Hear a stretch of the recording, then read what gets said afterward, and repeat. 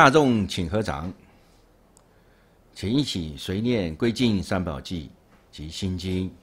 自度大道，佛从来；自度大海，佛穷尽；自度相意，佛无碍。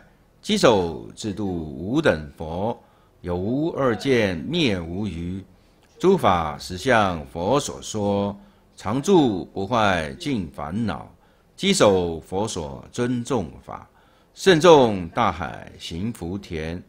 学无学人以庄严。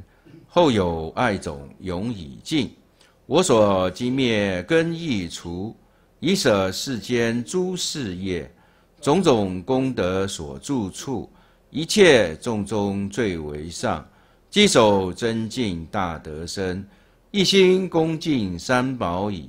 及诸救世密乐等，社论第一圣无着，千部论主贤士亲。我今如立欲学行，大智彼岸实相异。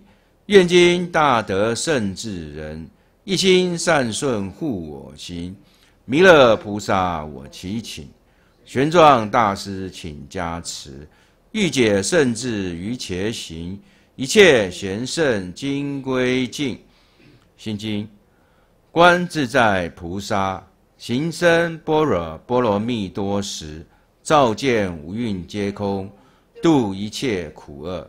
舍利子，色不异空，空不异色，色即是空，空即是色。受想行识亦复如是。舍利子，是诸法空相，不生不灭，不垢不净，不增不减。是故空中无色，无受想行识，无眼耳鼻舌身意。无色声香味触法，无眼界，乃至无意识界，无无明亦无无明尽，乃至无老死亦无老死尽，无苦集灭道，无智亦无得，以无所得故，菩提萨埵依般若波罗蜜多故，心无挂碍，无挂碍故，无有恐怖。远离颠倒梦想，就近涅槃。三世诸佛依般若波罗蜜多故，得阿耨多罗三藐三菩提。故知般若波罗蜜多是大神咒，是大明咒，是无上咒，是无等等咒，能除一切苦，真实不虚。故说般若波罗蜜多咒，即说咒曰。嘎德嘎德巴拉嘎德巴拉三嘎德菩提萨哈。老师、各位同学，阿弥陀佛，大家早安。好，首先先跟各位报告今天的课程内容。今天课程内容分成两个部分，第一个部分呢，就是前前一周禅坐练习的心得分享跟讨论。那我们。呃，周二共学呢，谈的是会先由那个美丽学长来先各位做说明。那第二个呢部分是十点半，啊呃开始第二个六门教授行定论第二次的易家学长的分享。好，那我们现在就把时间交给美丽学长。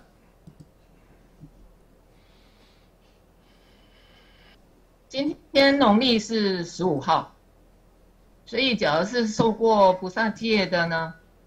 那就是要诵佛遗教经，或是说诵自己所受的戒。我们透过学习，从呃受五戒、菩萨戒，那学受了之后呢，才开始会了解戒法里边的内容。所以今天假如是有空呢，还是拨一点时间。读一读自己所受的戒。好，我们今天呢是要对于这个运处戒的一个分享。那这里呢，我就把它列出来，节前身后，以及就是对于五运观察的次第。第三项呢，就是从这个五运观察里边所带起的地水火风。那第四项就是。尤其是利润特有的方式，就是五蕴的十一支相的观察方式。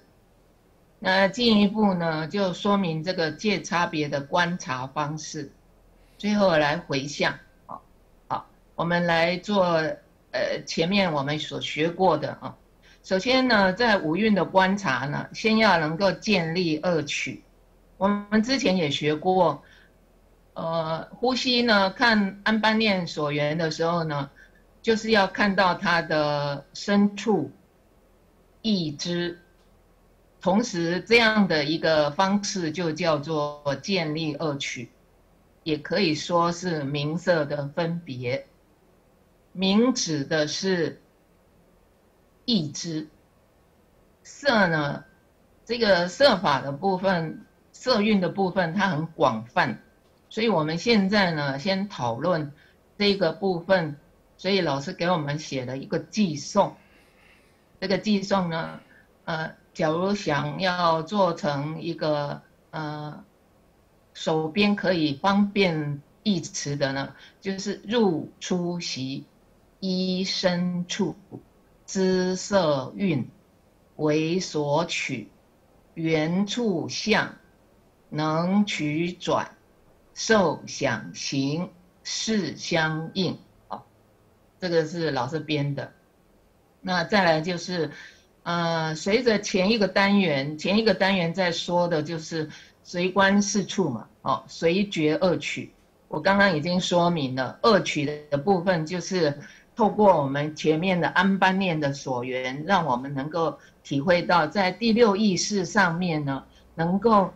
呃，分别它的能取跟索取，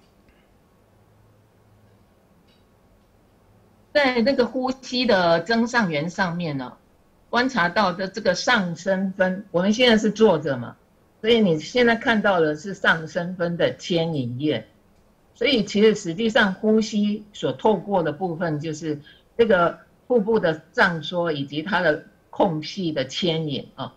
那这个由鼻门到脊处呢，经过肌肉啊、骨骼啊彼此的依持，所以我我们从这里就知道，它其实实际上不是单一的因缘条件，而是必须要透过很多个因素来让我们能够就呼吸这件事就这么样的不容易啊，所以我们要珍惜我们还有一口气在的时候，哈，拿来当呃学佛的一个增上缘。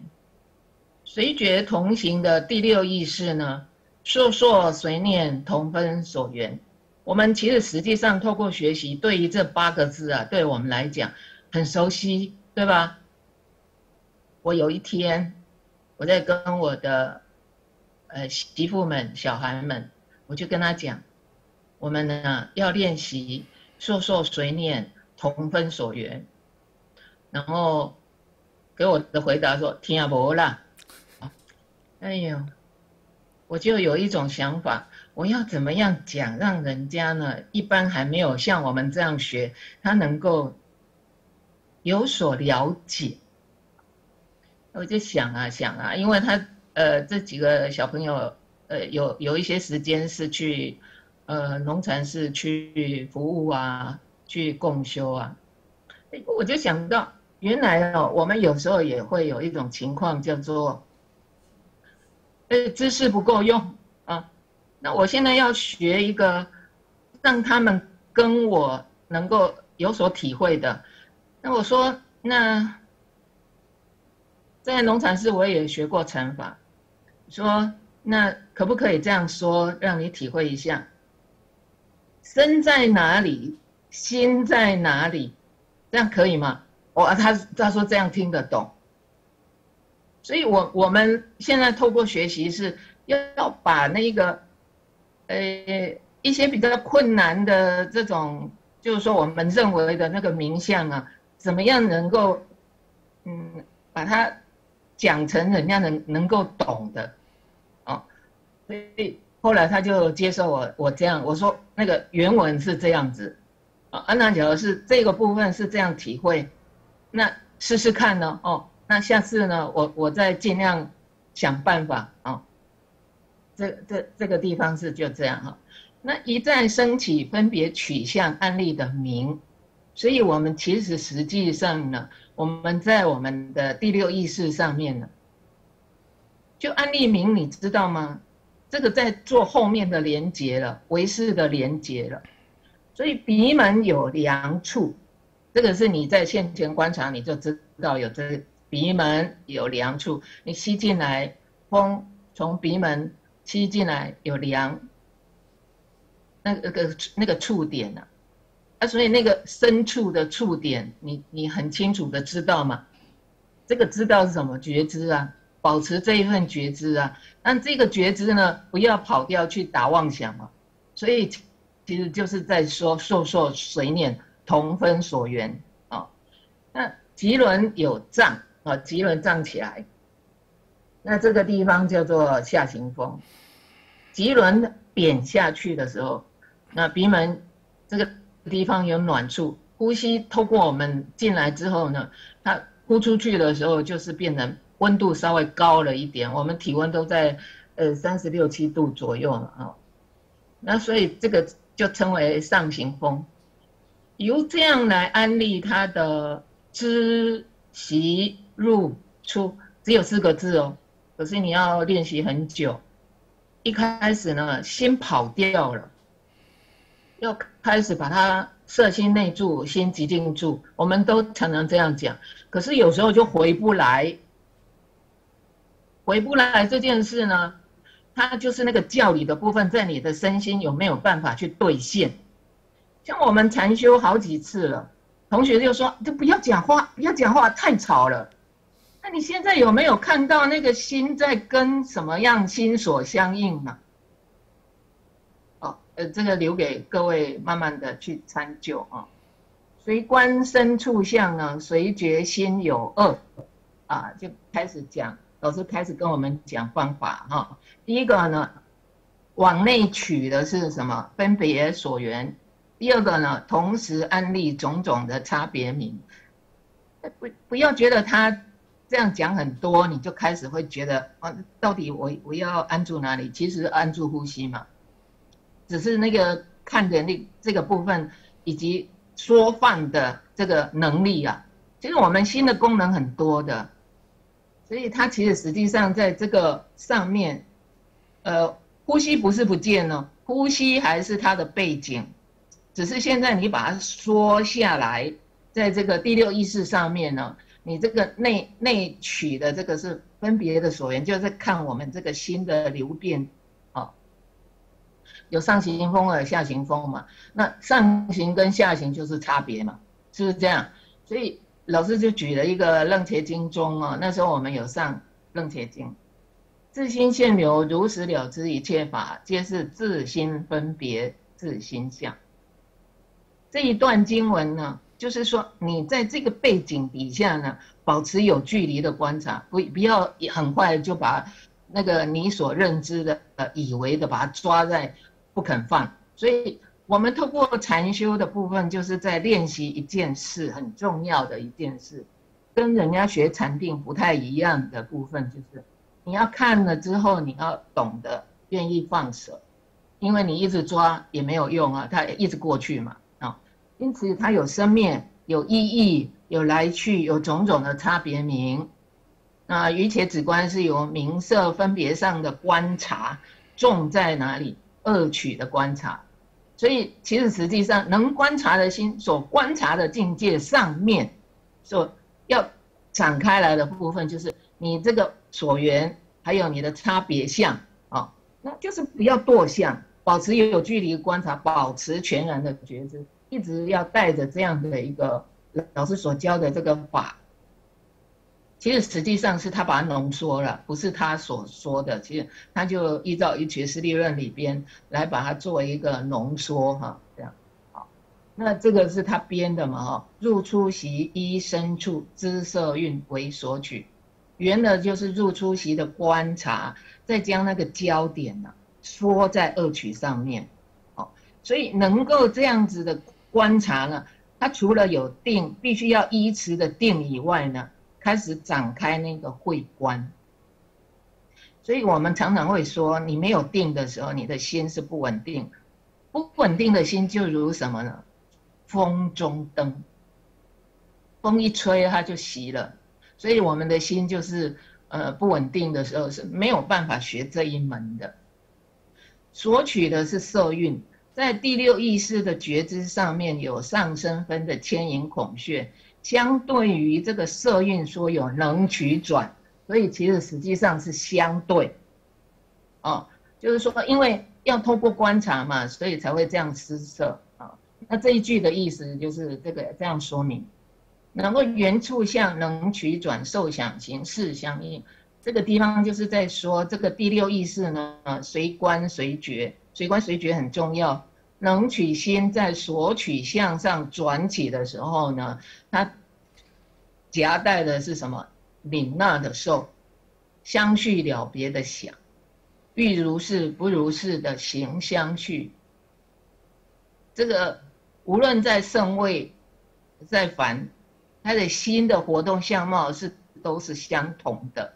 啊，由安般的处相觉察到种种的受想行，在世上的相应行，相应行就叫做余切，不是他单独作业。从这里就知道了，我们所学的，它其实实际上都没有离开这个佛法所教我们的因缘原生的一切法，没有独一的存在性啊，而是由如上的和合运转。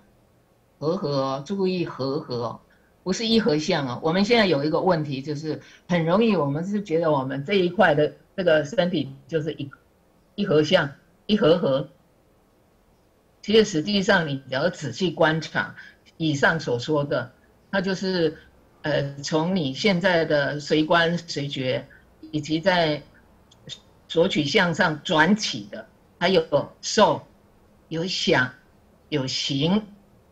那由安般的处相呢，觉察到种种的受想行在世上的相应，哦，并非是独一存在性啊。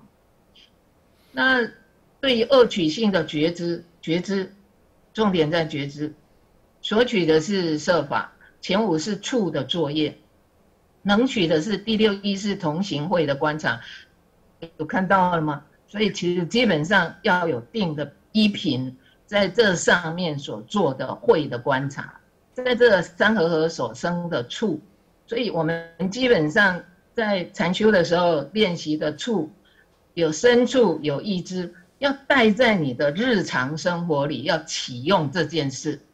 假如你的法不能在日常生活中来启用，只知道说我只要正念正知，可是正念正知呢，一旦促进呢，主要的因缘一一出现。你觉得你不喜欢，你就开始做什么事分别嘛？那不是说分别不对，只是你一你你跟杂染在相应，不知道哦。那凝定于恶取心的相续随转，在名色上面的观察，能够这样子在运用带起的，就是名色分别智。好，这一段虽然是这样讲了，练习可不可以分段？肯定可以，而且也可以做小抄哦。那你就是在平常的日子里，你就做这一段啊，你就好几天都一直做这一段，一直做这一段，让你的那个心呢跟这个法来相呼应。为什么我们说从凡位到圣位的时候，为为什么有一些时候就转不动了？为什么？就是戒禁事因没做好。那由安般念所缘建立起二取的观察呢，带取的这个色蕴的地水火风观察，所以我们现在这个身体是四大种四大种所造，这个色蕴，这个这个我们现在在使用的这个身体啊，缘因所处，开始做这个地水火风的观察了哈，所以其实实际上呢，可不可以分段？我的意思就是可以分段。原因所处呢，牵引孔穴依持于地。你看看我现在能够坐在这里，我这个骨架要不要这样子有一个依凭？那湿滑为水，你看我现在在说，我还喷口水嘞。哦，凉暖是火，呃，动转是风。所以你看那个腹部在压缩的时候呢，它其实实际上就是让我们能够吸吸呼呼，吸吸呼呼，它跟我们的身体是很有。直接关系嘛，所以依持于地的时候，所有的这个文具施设，只是要帮助我们起观察会，而不是执着在这个上面，这个这样写不对，那样写不对。假如你起不了观察会，那观的时候，其实基本上有一个情况，就是这个字对这些文文具的施设，对我来讲好像没有什么实质的。那你自己要想办法，或是说你在找其他的文献来帮助自己哦。一坐中呢，观察上升分钟的骨骼之坚性，那文字这样施设嘛，那你那个要坚硬才会挺起来嘛。同时观察身体是否是挺直。然后挺直还要随起放松，都是这样子的施设哦，你都要觉得很感恩，要不然我们就一直挺在那里。可是你你不放松啊，它其实实际上那个身体是整个都处在一个很很很紧张的状态。其实我们随时都要保持一个，嗯，应该怎么说呢？我们觉得我们有放松，其实不见得。那湿滑为水，就是很简单呐，鼻中就有黏膜。假如是那个湿度比较大的，呃，你早上在洗脸的时候，稍微挖一下鼻孔就知道，有有一些是属于水状的。像我们现在有点年纪了，早上起来啊，不是什么眼屎嘞，开始打喷嚏、流鼻水，因为什么？慢慢年纪大了，它其实是里边的湿气也不太容易排出去，所以要起来稍微动一动，运动运动，让我们的身体能够激转起来。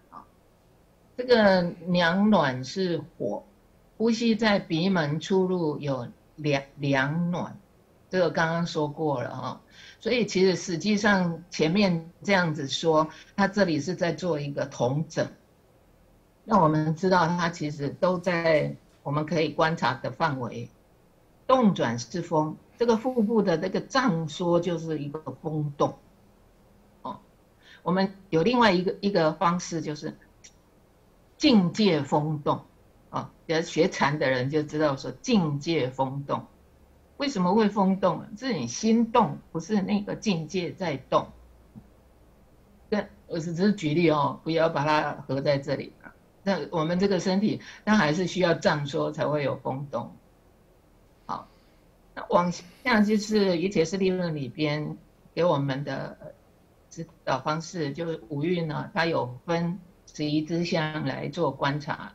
所谓的内外，这个也可以分段哦，不一定就一下子全部都把它做呃观察到完啊。内外指的是内身跟外境。就这五蕴了哦，以五蕴，那下手处当然是以内身，所以我们一开始老师教我们就是身处意志嘛。为什么会这样呢？唯有自己关心嘛，在意的事情，他的那个无常才能形成痛苦的感觉。其实说感感觉啊，说痛苦啊，在防卫的时候是这样嘛。其实那个行相续本身它就是一个苦法性，可是我们一直不知道，我们一直就是很很爱攀缘境界。啊，然后我们还还一直，呃，把那个感觉当为是实有性，可是这里在说，就是要观察它色无常，受想行识无常，这样才能超越自我。超越自我的意思，就是在第六意识上所观察到的没有独一存在性。我们一直认为的那个我，那个我非常有力量。那在内五蕴观察成熟的时候，再观这个外五蕴，也就是说，呃，对于这个外境所接其实我们都是人嘛，我有这个五五蕴啊，那呃外境所显现的人也一样有这样的五蕴，那同时也是显现它的无常性嘛，就完全成熟没有问题的时候呢，成熟的意思就是了相到圣洁，所以观照的次序是由内而外。而观察内外的重界，其实在六根，那六根只能了别啊，所以其实实际上还是取向所安立进来的这一个名所显现在六第六意识上面的观察，可是它是一个媒介，根是一个媒介啊。好，那这个粗跟细呢，首首先要观察啊粗的粗的相，粗呢比较容易观察。佛陀就会教我们是观色如巨墨，但是我们也没有这个人能耐啊，我们自己看自己就是觉得这个身体就是一合相啊，是吧？那没有看到如如同泡沫般的生灭不已，因此佛陀就教我们持习念，持习念就是观安般啊，那观察呼吸，培养这个专注力，所以同时呢，观身体的这个出相的变化，我们其实实际上这样子。从年轻到中年，到现在，以我的情况就是已经慢慢过了初老。那这个比较粗的，像是我们很容易都觉察他那个身体，呃，有一些不再像年轻那样的一个呃那么样有活力了哈。可是他也还没有要到临终啊，还有一段距离。所以我觉得，假如是早早学佛这件事，对于我们来讲是非常非常有帮助的。再进一步觉知它的细项，啊，就是比较好高骛远，观这个色身如此，佛像好也是如此，无法一开始就在心中呈现佛的影像，一定是先观察它粗的一个轮廓。嗯，我举例哈，像。这个佛的相好庄严，它有三十二相。可是呢，我们可不可以聚焦在这个眉间的白毫相？这个我们我们很容易在这个一个点上先先能够这样反复的在你的心中意念起来哦。那记起来的时候，再观察它的细部的特征，衣服啊、皱褶啊、眉间啊、形状啊，这样观察，呃。他就慢慢的跟你你所见的佛像的那个影像，在你的呃第六意识上来，很快的显现出来。哦，其实这这个观察方式呢，还是就是在让心的稳定相续。那好丑相的观察顺序就是。呃，谁先谁后，就是要看修道人目前的状况了。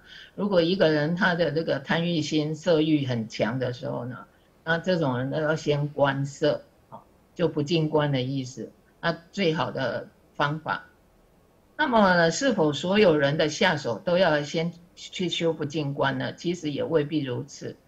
呃，经中有这样的描述，有一群比丘修不进观呢，没有掌握要领，重点在没有掌握要领。只观到身中的那个臭秽不净啊，就选择厌世自杀这件事，在我们在学习的过程里，老师才会给我们抉择用安般念所缘，哦，结果就被佛陀呵斥嘛，因为教导他们慈禧念，重新再教导他们慈禧念，可见得用之不当啊，会出现副作用，所以我们应该要懂得怎么样抉择，我们要。选哪一门来学习了哈？好，远跟近的时候，就是在空间上面的，就是内外，内外主要是身内跟身外。有远近是指关照内容位置的一个前后性。呃，只有远近距离适中才看得见，这个特别指什么？眼睛啊，无论你有没有近视，有没有老花，它就是在有一定的距离，你就是会有这种现象哦。那远近的关照无所谓先后，只要调节到适当，就是好，哦，这样才有能力呢，尽可能关到是离身体最近的每一个细胞，呃，这这个就是更维系的观察。假如你现在呢还没有到要做这样的一个学习，暂时不用观察这一部分是没有关系的。远就是观察到远方发生的事情。当然，这跟念力的深浅有关系。随着念力的敏锐呢，才可能观到的。哦，刚刚我说了，于是我们应该呃思考的是，色心的恶法，如果着在就着在远近的空间而言，感觉心法心所法就在我们的身体的深处，相形之下，身体似乎还要远一些。这个在说我们怎么样在学习观察上面。嗯，一个缩放，就是说我们也可以，就像我们在坐飞机嘛。当然我们在地面上的时候呢，我我们所看的范围就就只有你所处的这一块。所以我们会觉得，你看我我在台湾在北部，可是你等当你坐了飞机，你往上提升的时候，那那个台湾就变很小，是吧？所以其实就是这个意思，它的那个远近哦，那就是看你学习的能力要做到什么样情况。我们现在这里只是先学习你的心法跟你的色法这一个有这样的观察方式。那越观能够越细嘛？那越细呢？假如说没有带起智慧的时候，你反而着在那个相上，这个样也有过失的。然后过去、未来、现在，反复意念过去种种，这个这个很长的，我们常常会意念。意念呢，有一另外一一一种情况，就是带起我们对于，我举例啊，就是某个人。某个人，我对于他的这一些行为，我就会落落在印象里，我就会觉得你这个行为我不喜欢，我就会把它判定说，你以后都是这样，我就是不喜欢你。我我我们对于这个反复的时候，就是有这种情况。其实实际上透过学习，就是你你看到了自己这种是要慢慢学习放舍。哦，其实是想象出来的。这里就说了，意念是想象出来的，它不是实际看到。那至于未来呢？未来还没有发生呢，啊，当然也是想象的产物。所以论功夫的时候是要从现在来下手。那这个里边有色业生色法啦，心生色法啦，时节生色法。这个暂时，呃，假如是专题说的时候，它就有一一大块在这个做这一部分的说明。这个这个都会影响我们的身体的变化、生命的变化。那所谓的业生色法，是依着业带来的这其命根的身心的组合。虽然基调稳定，但随着时节的推移，色身也难免会变化。这个很简单，我像我现在，呃，七十左右了，所以其实这个变化对我来讲很清楚。尤其六十五岁以后，这个色衰，呃，头发变白变少，是吧？呃，那也有人很爱去把它整整形，把它整回来。可是有时候当一讲话，他他很快就露馅，为什么？他讲的话跟内容，那就跟他的这个呃年轻的相貌不相符，就不用太去执着这个。要要怎么样把它弄到多年轻这件事了哈？过每一个人的抉择了哈。同理啊，食物干净可以带来健康，但注意哦，不要仅仅停留在养生的过程，因为有生必有死，所以面对生死要学习放下，反而是这件事比较重要哦。那你怎么养呢？它还是随着时节因缘一直在变化。可是，当有问题，我们要不要去找医生？肯定要。我们并不是到呃一个不需要靠医医疗的专业来让我们度过这个最后的生命了哦。所以我们也是一样，不可以排斥，不可以说我我我就是要用这样的方式度过。可是，假如是你需要看医生，老师就曾经跟我分享过。要作为一个好病人，不要不要老是跟跟你自己，呃，身体对抗挣扎，然后呢，要用自己的很少的知识，然后呢，想要去做很大，就觉得好像无所谓，反正我就这样子，反正会老会病会死，也不是这样，还是需要呃医生的帮忙，还是需要的。那这个小节就是在说五蕴的观察呢，主要在彰显这因缘原生的一切法呢，实无有自性可得，但是有相可以观察，只要不多相，我们可以随观随知随舍。这一期的果报体啊，才本论得知呢，未能见到的凡位众生呢，被称为叫做无取蕴，取取字哈。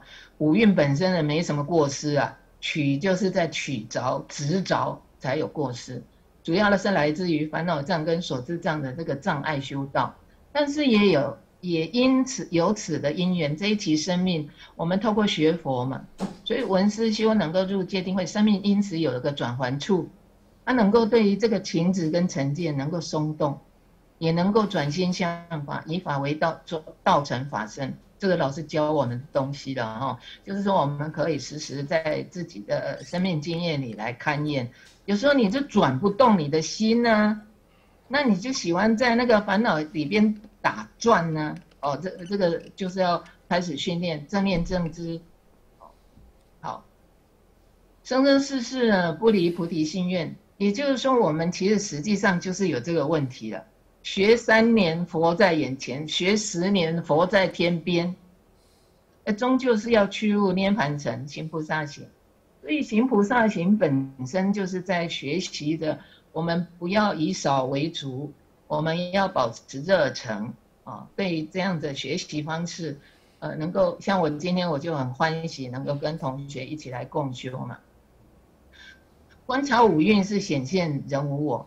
因为为什么？因为带众缘，但这个只是少分的体会。我们现在前面所说过了，让我们教理能够有体会的这部分呢，那其实是很少很少的。因为，他你要多修，不然就是常常在日常里，你就是一对劲哦。那你的习气先出动了，你的法带带不起来呀，啊，还需要不断的是多修多习，在人事物上面呢，不断的作证。啊，不退菩提的本愿，这一段呢，我我希望杰入老师的这个部分来佐证这件事。呃，他贴了一个卷八十三的名字眼字明觉，言指的是能现见事，智呢是能取不现见的，就是过去刚刚所说过的啊。那再来明是误入的尽所有事啊。我们在透过观察的时候呢，老师这里有解释啊，我们来看他的解释。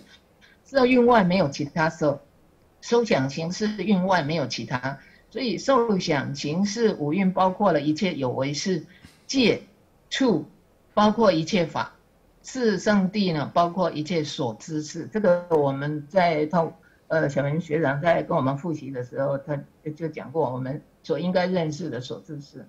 那觉的这个部分呢，指的是误入真如，所以透过观察之后呢，观察圣洁，舍离心相，就是这个意思。哦，回到呃新的法性平等。那对于这个界分别观的观察，只要是在做中的时候呢，只是把它提出来，让你多多做一份了解，它这个观涉到哪一部分了哈。那这个都是可以呃把它分段来练习。像地界的时候，就观察它的坚硬。像我现在必须要挺直嘛，那骨骼是不是就属于坚硬的部分？水界就是刚刚讲过的那个有湿性，可是相反的很干呢，这个也属于水的部分。火的部分就是这个温度有冷有热，啊，它范围有多大？这种种就是在观察，那可以记录，是不是每一次禅修都会出现？也不一定，嗯，那就是保持观察。保持全然觉知，那记录起来做什么事呢？因为每一个人都有不同，并不表示我现在这一次，我我们大家同样都呃有水大、有火大、有风大，也不是都不是这样哦。那风的部分就属于推动性，相反的就是那个拉扯的力量哦。那身体的屈伸也一样啊，像我们呃我我今天啊必须做武功，所以我煮菜，那我要我我也要呃起来。啊，然后我必须要站起来，然后我要走动，我要屈伸，那个肢节要伸缩啊。那空界的部分主要是观察这个身体里边的那个空穴。我们假如是没有空穴，他没有办法这样说啊，所以它是依凭的是那个空空间的嘛啊。是的时候就是这个身体的松紧变化种种啊，那只是在告诉你，它只是无常性。那心生清净的时候就无染。总结一下，就是我们为什么要学习这个安般念所缘，进一步要观察五蕴，且是在运处界上的体会，为什么呢？我揭露一段老师在见性界观法当中的解释，这个运处界就指的是十八界，这个运处界的十八界。那运的意思呢，除了积聚性以外，它还可以能生诸业，长养任持。所以其实实际上运有没有另外方式的解释方式？有的哦。那沉静的时候就是奔屋静心，也就是我们一处静的时候，我们在防卫的时候就是有这种。那其实实际上，能取了境界之后，我们就开始起分别。我喜欢，我不喜欢，就堕到爱非爱里边去。那没有办法呢，呃，保持一个全然觉知，保持一个，呃，就是老师教我们那两个法要哦。那畜生就成垢，就是刚刚我说的无明情嘛，所以造成是引的是爱非爱。是的部分就是能了前进，忘起分别。是，它又从里边阿赖耶识，然后取出来，在第六意识上呢，这反复的一直起作用。那这个就是在杂染位的时候所说的这个运出界。如上能知呢，这个生命是有轮回，是有分的。能够观，能够透过观行学修呢，看清楚自己自心是如何的杂然。带起的转心向法，让生命能够转移清净。所以其实实际上这个杂染处呢，我们也没有到说我们要排斥。我们有小英跟我们复习，呃，在这个杂染处刚好是可以转起的。所以其实实际上呢，就看我们自己学的教理它的深广度了啊。这个下面我所要说的呢，只是一个备注说明而已。至于这个十二处呢，分析只是我们的感官对外境的认知作用，而十八界的这个成立呢，更能详细的说明这个烦恼的生命过程。在十八界的系统，其实主要的是在主观的认识，注意哦，主观的认识。我们常常说事所缘为事所现，都是自己分别自心相。你用你的方式在分别，我用我的方式在分别，哦。那对于这个部分，眼见色产生的眼识，就是眼根对色境的一个识别作用，也是有了别了别之后随起的第六意识，就是分别分别有杂染跟清净了哦。所以五蕴十二处十八界的设立，是帮助常观者在有系统的状态下，对一一法的生灭做如实的观察。所以如实的意思是，杂染也需要观察，呃。清净也需要学习观察的，哦，所以不是只是我们不要那个杂染的，我们要清净的，不是这样的哈。那五蕴的分类是简洁有力，所以呢，对立根者来说，那十二处的分析呢，叫是重根的中根的人说，八戒呢就是讲的比较广啊。更跟着说，在五蕴十二处十八界的分析的背后有一个基底。我要说的是这一段谈长的佛法的根本看法，那就是显现无常、苦、无我、极尽涅盘的四法要。所以呢，这个运处界是非永久性的，是无常的，是伴随着烦恼的有漏法。所以我们说它是苦，是非实体性的，说是无我。从无始以来就是呈现如此动摇不安、刹那生灭流转的状况呢？这一切都会归于极静，归于极静就是极静涅槃嘛。仿佛他举了一个比例，举了一个譬喻，说这个如海上的狂风。我们现在假如是很炽盛的时候，它就是像那个狂风巨浪，可是它终归要回归平静。其里边的生意，就只有，呃，见到以上的呢，就可以解开这个谜啊！哈，所以我们说缘起甚深。缘起十二支是在显现无常故苦，苦故空无我流转当中的执常乐我净的颠倒，实是无我的。这个我是指的生老病死实不可爱，说明它的不自在性。无我指的是实无有主宰，只是刹那不住的变异，显现它的无常性。我我是在说上面的部分的一个浓缩。我我常常会把学习过的部分再把它稍微。简洁一下，让我自己能够忆持啊，哈。那所以里边下面就讲一个如理作意，在日常生活六根接触六尘的时候呢，要如法如律，如佛所教的，作意为前导，作为一个抉择的养分，或更深一层说转化的作那个作用哈，达到界定会的次第，在修行当中，同时破坏了生死的轮回的运转，同时建立起真真上界、真上心、真上会的一个本意。这里下面我举了一段，老师在《达含经》六入处的观修有这个八项，一个就是建立起内外六根，第二个是外缘的六境，三是和合的六事啊，所以根境事嘛啊，原生的六处，所以其实基本上在观察的重点在这个处因缘所生的受想行上面。那我们是在这上面争他的爱非爱，还是我们可以呃转心向法，以法为道？那就看自己的学习的宽广度了。以上是在杂音颂里边所建立的观修，那这里边看似一些名相，其实实际上所显的就是十二有之。就我们现在这里啊，就是你先学五蕴啊，然后呢，慢慢的带起。往缘起，再往四谛，可是呢，是不是完全这样切割？其实实际上在观察的境界上，还是这一个那个安般念所缘上面所展开来的啊。当我们可以如理云思的时候呢，在依法上他观它的自相及共相，就是观察顺缘起的流转以及逆缘起的环灭啊。那这里讲的就是以上的观察里边含摄的这两个。那十二有支的那个前支呢，后支的真上缘，但不是后一支的声音，所以会会说到引发音跟升起音。这里先不这么说呢，只是提供给各位参考。我们往后的部分，小云学长也会再多给我们做这一部分的一个讲述啊。那这个同时也会跟阿拉耶斯的缘缘起有关系所以呢。这一段呢，我想要说的是，老师跟我们讲说，所观察的生老之生老死之，是从未来而来到现在的生灭相。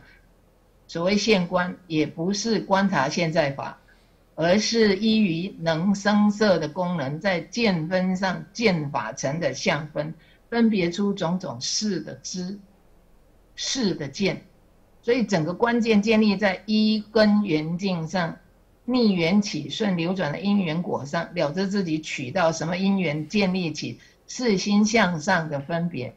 所以一跟缘境是推之而有的，反而是不是现观。我要说的是这件事。那至于就是说要怎么样学习，那可能待后时你再继续保持观察。所以一的这一份的分享呢，回向众生解脱三界苦，揭发菩提心，不退菩提道，希望跟大家一起共同努力。哦，还给小云哦。好，感恩美丽学长。那接下来就把时间交给慧玲学长。好，嗯，老师，嗯，小云学长以及各位学长，阿弥陀佛。嗯，我们刚刚非常谢谢美丽学长的节前哈。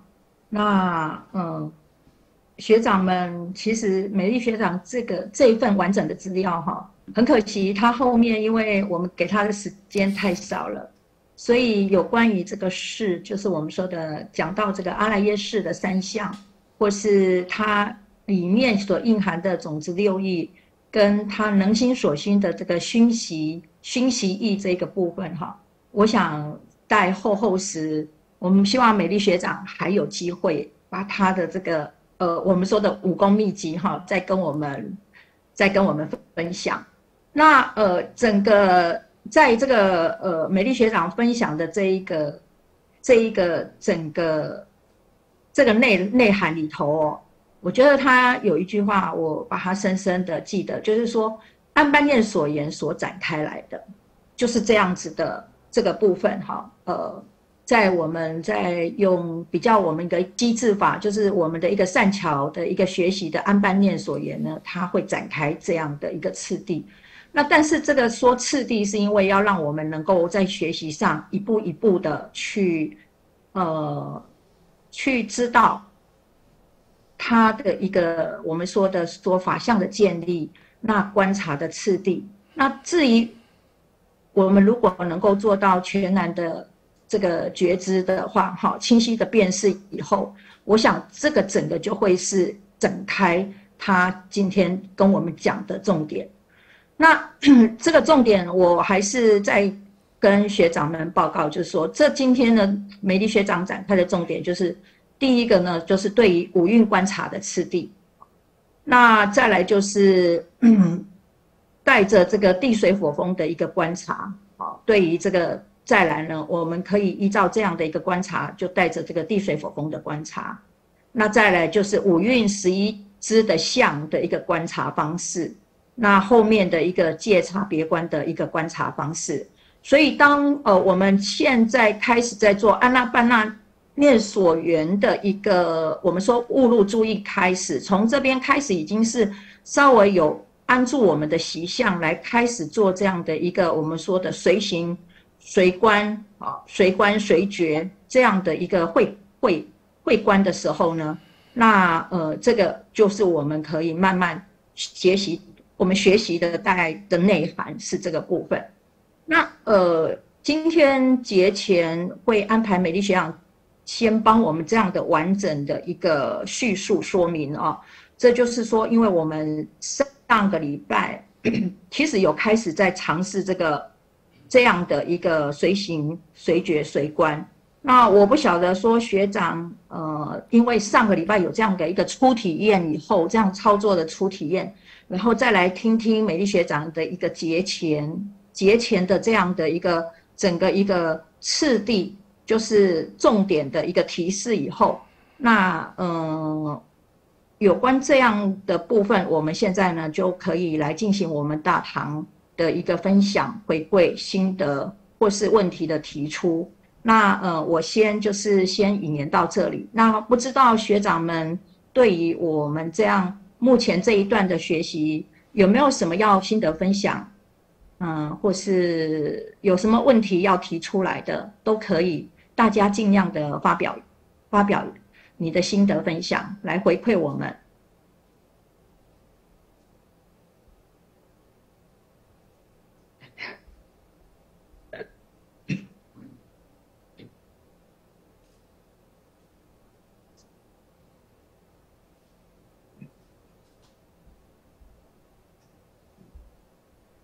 那个呃，我知道学长们都非常的谦虚哈。那其实讲在这个分享的时候，我想再分享就做一个当机众啦，就是说，嗯，可以做一个开头哦。贤浩学长，太好了，好，那我们能够请贤浩学长来帮我们分享他的心得跟回馈，OK 啊？嗯。阿弥陀佛，啊，各位师兄，大家上午好。啊，是这样，首先我有个问题，就是刚才听，就是，嗯嗯，美丽学长他的这个分享，在嗯观察五蕴的十一支相，然后其中有远近有粗细，嗯，就说远近可能就是远的这种，对于我们来说是相对于我们来说是远的这种。距离和近的距离的这种观察，然后呢，嗯，但是我从嗯老师开示的这个嗯《社大乘论》的呃第三第三集里边，其中也有这个对于这个十一支相的这种解释，但是老师的解释的这个远近呢，它是远因和近因，就是嗯远因呢，就是我们我们不是。有这个因果嘛？那么近因是发起因，然后远因可能是一种，嗯，一种种子。那到底我们理我们就是理解这个远近，呃，它是是是不是？呃，我我不知道这这两种的差别应该是怎么样子的这个这是一个。那包括粗细，嗯，好像也不是那么的一样，嗯，这是这是第一个，呃，这是这是我刚才听的这个，呃，就是稍微有些疑问吧，呃，然后呢，就是关于这个禅禅坐的这个体会呢，嗯。反正我最近呢，是因为就像就是美丽学长呃说的哈，其实就是那种，嗯，你没有遇到境界，然后你遇到境界的时候呢，就是你就会发，我就会发现自己的心就是很难让自己知道自己应该怎么做，但是确实是很难让自己就是安住在法上。就是最近我父亲住院嘛，因为有。有有多脑部有多处的这种这种梗脑梗的这种现象，然后呢就是住院，然后我就陪护，然后我每次也是照照按照原来就是白天去陪护他，因为他还是可以自理的，所以晚上不用陪护，晚上我就还是回来，第二天早上仍然还是嗯按时起床按时打坐，但是我发现就是。不打坐的时候呢，就很难很难就静下心来。这这段时间，就是总是，呃，想着，哎，他今天是不是这几几天就没有大便了？是不是得给他想想什么办法呀？带点什么药去呀？嗯，然后，嗯，又还想到，哎呀，这个这这这个，呃，就是总是总是想着这种。这种很具体，呀，阿翔不能这么想，我要我要把这个回到安班上面，然后回到安班，还还还没多久，然后又出去了，又想，然后就到最后就就甚至这一小时到后来就坐不住了，哎呀，后来怎么办呢？就我说这这也不行，呃，实在不行，我说干脆还是听老师的开示，然后听老师的开示，我就能够安静下来，就不会去胡思乱想。但是安班好像的这个力量没有老师开示的这个力量大，或者是我听课，就是我们我们就是学修的录录音呀什么，我都还可以，就是跟着这个走。但是安班的这个这个呼吸的这个关专注这这个力量，好像就是就是力量比较弱，我不知道为什么，就是就是我我个人是这种现象哈，嗯，那我就是。不知道如何解决，就是自己这个这个定可能是定力不够，遇到境界以后就这么就就这种这种问题吧。好，阿弥陀佛，摩羯放慢。好，嗯，其 实谢谢贤浩学长这么宝贵的问题，还有他的分享，就是他目前生活中呃遇到。一些事情的一个分享哈，那第一个问题哈，我就我的的，哎，我知道的范围哈，我来试着来来说明。那如果说我讲的不是很清楚的话，在座的学长有更更详细，或是觉得说另外一个角度的一个插入的话，那学长也可以来说明哈。有关于这个远近这个部分啊，呃，我想呃依照。刚刚贤浩学长这个讲的这个影音跟这个远音跟近音哈，我想哎，如果我们弄另外一个名词，就是它就是一个远音就属于影音，就是牵引那个影音哈，那近音就是声音，声声音。所以今天如果说我们在这个安娜班纳念的时候，我们知道这个习习相的这个牵引叶、中央孔穴跟牵引叶，我就我们就会知道说，我这一期的生命的这个习露露出习相，这个习呀，习是一个深夜。那这个深夜呢，它其实就是一个引发，就是说我我我因为呃有这个对这样的生命的一个直受嘛。那呃，这一期生命的一个的的的直受哈，那我们当然知道说，如果这个要再讲远一点，就是说我们说的是阿赖耶识的这样的一个一个直受，我们的生根。那这个直受生根的时候，就我在这一期的深夜，我可能就是我我的深夜，我就是靠着呃吸呃呼吸来来来来来维持我的这个生命哈。那这个长养我的生命的时候呢，这个这个，所以它会有一个牵，就是那个那个那个那个影音。当然，我们做的说原原始这个，我们说这个叫做现行以后呢，它这个你你就需要在在吸入以后，你中间吸空位以后，要在呼出去的时候，你不能不得不了。你这就是看到我们的一个不自主，就是我们对这个事的这个直直这个生根哈这样的一个生业，所以出入席的一个生业的引发，这个就是我们说的说会有席的入出席的一个声音，那这个引音就是我的牵引业，就是我生业的这个牵引，所以这就会可以看到这个远音跟近音这样的相互的这个部分，我们也称为它就是这个作用，我们看到它的关带道理。它也还是互相关带，还是因缘所生法的一个互相关带的。这个部分。嗯，我不晓得这个部分，我这样的一个我自己的理解，那跟呃那个现在在座的学长，呃，有没有更详细的可以，或是说有另外一个角度来切入说明？好，那个小云学长，对，那个那个带那个。台林学长先回答，然后上微等稍待哈。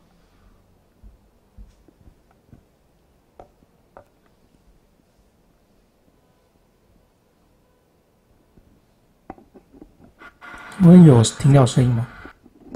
哎，等一下，你你稍待，那个现场有一个学长要先先，没没，你先你先讲了，他等一下哈。各位师兄师姐啊，我是台林啊，因为我刚刚一开始听了有一个就是说，我这么学佛那么多年，每次有人说观五蕴观五蕴，我我到时候现在我还是不太懂这个观观观五蕴哦它是怎么样，因为我在我认知的五蕴里面哈，我们从简单来讲，唯识对不对？他说色受想行识，它是一个次第，比如色是色法啦，受是色受啦。那想是呃取向啦，啊行是作意啊，最后是那个叫阿赖耶识，这是一种。那第二个呢，就是《心经》讲的，对不对？五蕴皆空，好像就各个独立，它又不是次第。那第三个呢，《成思论》呢，他就讲说色是享受型，他说这叫路径。那当然你们可能想的是另外一种，所以我很想说了解说。你们在观五蕴的，因为五蕴我们说现实里面，那也不见得是看得到，是凭感觉到的。那我听听听，我倒还是很迷糊。所以说，我想说听听看，呃，刚刚那个师姐就说，你们的观五蕴是。什么样的诶情形去看什么样的五蕴，什么样的感受，呃，是不是能够稍微跟我讲一下？要不然我说实在，我想不通这观五蕴怎么观法，我看不，因为你你当有想的时候就已经乱了，就已经在五蕴中间打乱了，你还去观另外一个五蕴，我就不知道怎么观了。当然，也许我的功夫比较差了，这我承认了。我还是希望师姐能够稍微让我给我一点点开示，谢谢。好，嗯。那个这个部分，我们待会儿会做一个，呃，我们上个礼拜的学习的，在一个文字上，让学长们，嗯，其实文字它就是跟操作，那那个部分我待我们待会儿哈，留个大概五分钟或十分钟，呃，我我我们再来再来详细的再跟学长们说明哈，那这一个文字这这整个内涵，其实也是老师在禅修。手册里头，在第九集哦，就是我们这个内涵，我待会儿再来说明。那现在是尚威学长，他对我们刚刚讲的这个远音跟引音跟呃，就是远音跟近音这呃远音还跟近音的要来补充说明是。嗯，主要不是远音跟近音，主要是针对粗细跟其他呃不懂经论说明的一些学长问嘛，好像有些不一致，对不对？然后针对这一点做个可以可以可以可以 好。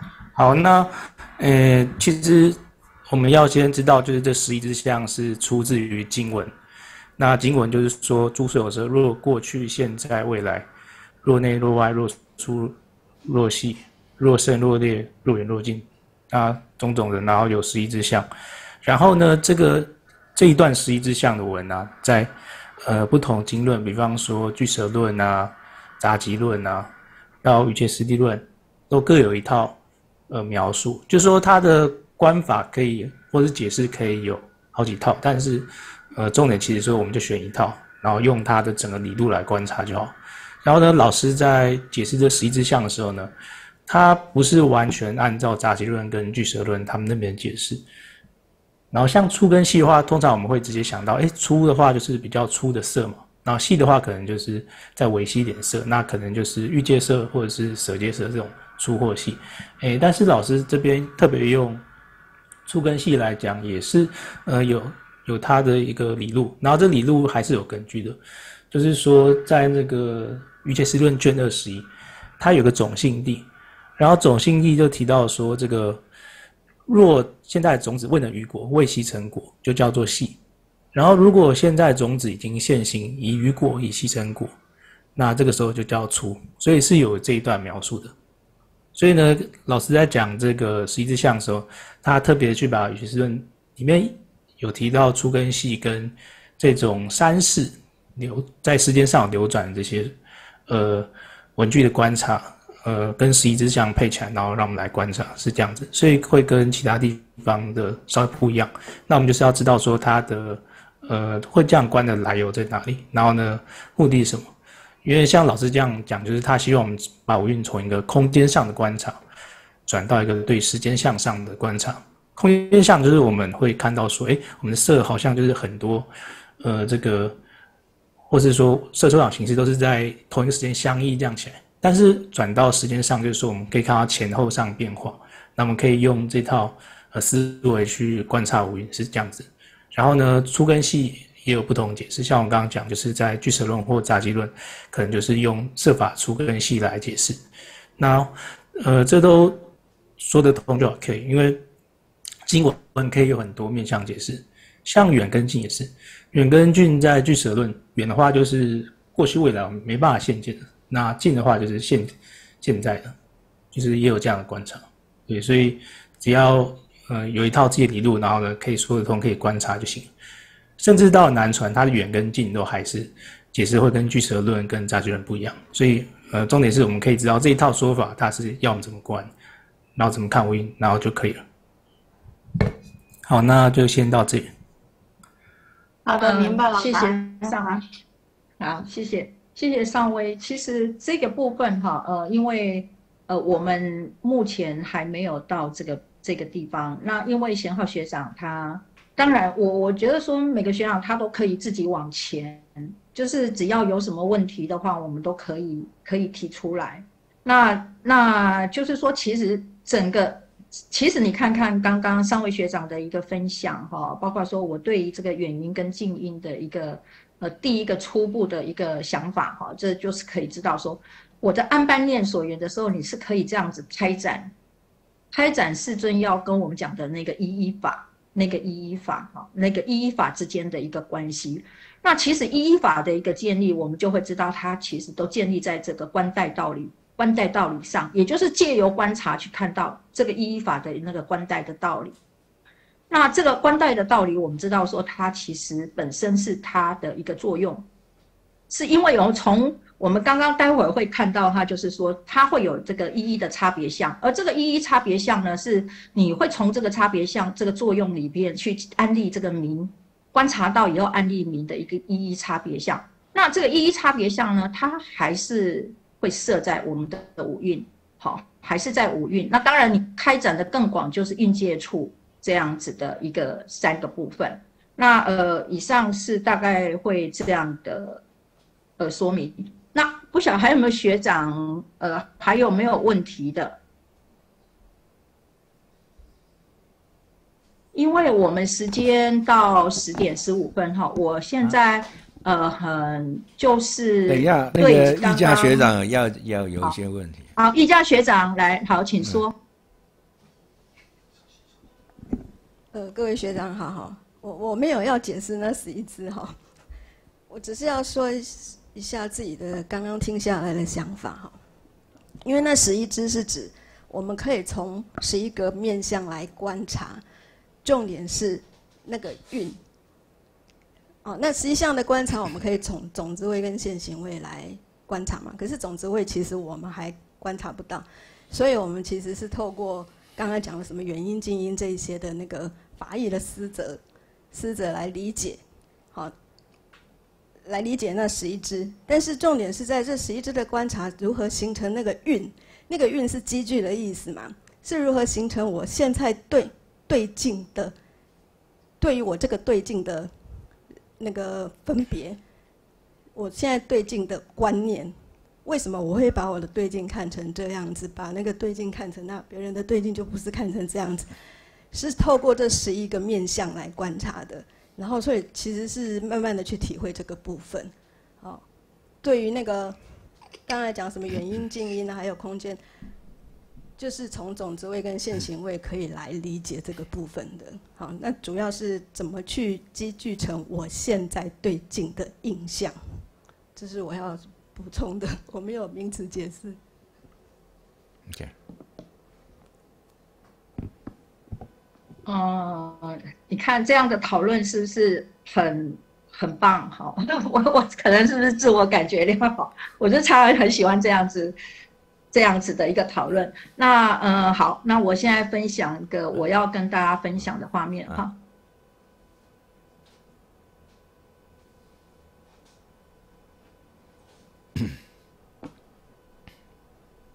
这个呃，刚刚呃，有一位学长讲到说，嗯，他对这个我们说的随行、随观、随觉，有一尤其是这个误入租运这个部分哈，呃，他还是觉得说，哎，怎么去去去去去操作，或是说，不管你是在座上，或者是说你是在日常生活哈，我想刚刚美丽学长也嗯分享了很多哈。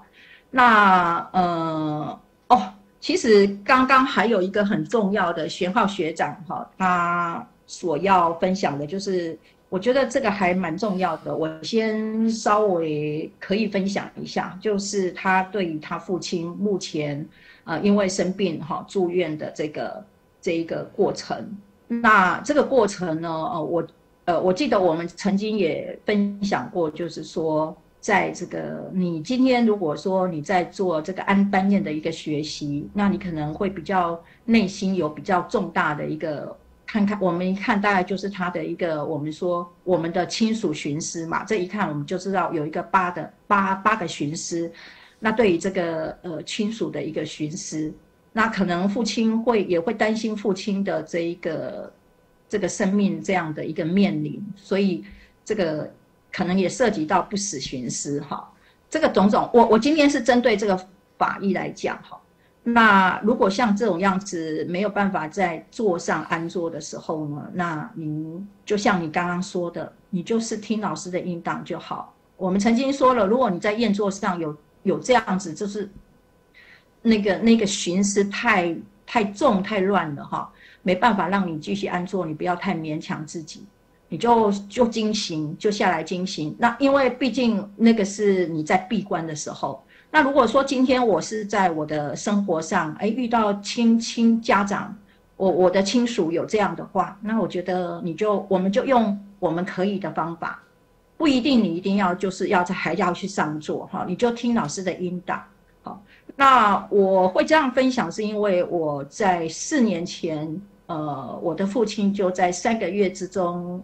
从没有生病到生病转病，然后到他往生这个阶段呢，呃，我用的方法，因为我本身是学，就是都会有持诵药师经、持诵药师咒。那我这个持期间呢，我大概就在过程里头，我就会诵诵药师经，然后持持药师咒，啊，就是让我的心能够先安住啊。那亲人的一些问题，你你需要现在就是很急需要去做。呃，去做这个，嗯，我们说的解决的时候，你就去做解决，好，我们就去解决它，然后解决完了，那你就还是安住在你可以用功的地方，就让你的心先稳定，啊，就是能够稳定，然后去面对亲人的，呃，一些你事件上的因缘事，那呃，这个我觉得那个是没有互相有冲突的，好，您试着看看，就是你觉得听老师的音档让你能够安住。那呃有时间就听老师语音档，让你安住，就先把我们说的这个，诶，这这件事情哈，就随个缘。我们说的这个随随这个缘嘛，然后还是随行啊，还是随观啊，还是随觉啊，就是还是做这件事情。这是我我想要分享的。那呃，我们时间其实已经到了，但是我想我会，呃，这个这个问题，我想问一下小云学长，我可以再多给我五分钟吗？好啊，好啊，好啊，好，可以哈。哦，好，不好意思哈。呃，其实在这个安娜班纳四处所缘哈，这个我们说的说整个一个五蕴的一个观察的次第，或是以后我们会看到摄印的地水火风的一个观察，或是刚刚有讨论到的那个十一十一个面相的这个观察，它都是可以可以从安娜班纳所缘所缘的部分去开展出来。那这个开展的原因是因为它，因为它。它是用比较方便，就是让你独一进处专精。除了独一进处以后，你用验座哈，那比较安住你的所缘。这个所缘呢，就是我们说的说，你可以先安住我们的安住习相。所以呢，这时候我们要确定取到那个入出习的相，跟你习所依身这个相，习所依的这个这个相哈。所以呃，我们这边就会大概。在看老师的那个禅修手手册，就会知道说，入出喜是一个能依，那习所习能依的那依的就是身，那就是习相的因缘。那这个部分我们在学习安安班四处相的时候呢，我们也会知道什么他会先取到这四变这四处相的原因，就是这个入出喜呢，它是依于我们身体的这个牵引叶跟中央孔穴的变化。所以，呃，刚刚学长问说，哎，你你怎么去观五？就是说，如果你是在座上的一个五运的时候呢，先学习这样，学习这样的原因就是说，先把你的所缘先先先怎么样？先说到你就是所缘就能够圆这个入出席，这个就是我们说的这个所缘。这个但是习出席的跟习的之间的关系还是能依跟所依。那它就是入出息呢，是依于身体的这个我们说的牵引叶跟中央孔穴的一个变化。所以呢，你看这个这边我们就看到人一跟所依的因缘生的关系是一个关带道理。这一些东西都不是文字，就是等于你在座上座上修哦，做上在操作的时候呢，你能够去呃，我们讲到说去圣解。好，那如果说你没办法圣解，你就是。就是说，你你还是不是很清楚的话，刚刚那个美丽学长有讲到，你就带一个小卡，然后就就这些文字啊，这些文字要告诉你的这样的一个因缘事呢，你就稍微看个小卡，然后带着这个操作去去练习，就说说练习，哈，到你能够圣解，就你能够，我们说说说的串习，说说串习，你就能够随真的是随文随这个文随行。然后随观随觉了，所以呢，这个就是取生的处相，这就是摄影，就是所缘的哈。那这个所缘，我们知道，我们就会看到它是入席，好有入席出席，就会知道说它有了别的一个名言相。好，你看我们就看到色蕴，色蕴就是我们说的入出席，还有你的身，习所依的那个身，那个就是我们的所缘，也就是我们的所取相。那有入席、出席这个部分，这个整个过程，你看，我们就会知道，这个是我们在聚行的时候，同分所缘的时候聚起、聚起的时候的那个第六意识。所以后面会讲到受想行、受想行，那个就是聚起的第六意识。我们说的那个，我们讲的那个六转前六前前六世的那个部分的一个四心了别的一个名言相。所以认识习习相的时候，就是我们说的落入落出，好中央还有一个停息位，然后呢转出席，好的时候有一个分位差别。这个整个一一个我们说的那件事情，这件事情就是一个行的相续。那这边我们就会去观察于中有我，我所有嘛？所以其实这个都还是在五蕴中，好五蕴中，所以。当我们知道这个我们说的这个索取的所缘的跟能源，能源就受想受想行哈，是这这后面的我们说心意识这个部分呢，就能保持这个全然的觉知跟清晰的辨识。好，所以全然的觉知跟清晰的辨识就是人缘，借由这样的机制呢，由定心中去升起观慧。那时间到这边哈，大概后面受想行这个形式这个部分呢，呃，我其实我们在这个啊，老师在这个第九集的这个误入注印呢，它的一个音档呢讲得很清楚。那随着我们现在开始做操作，你就会知道可以可以开始慢慢去跟着他的操作，而不只是只是文艺上的一个了解。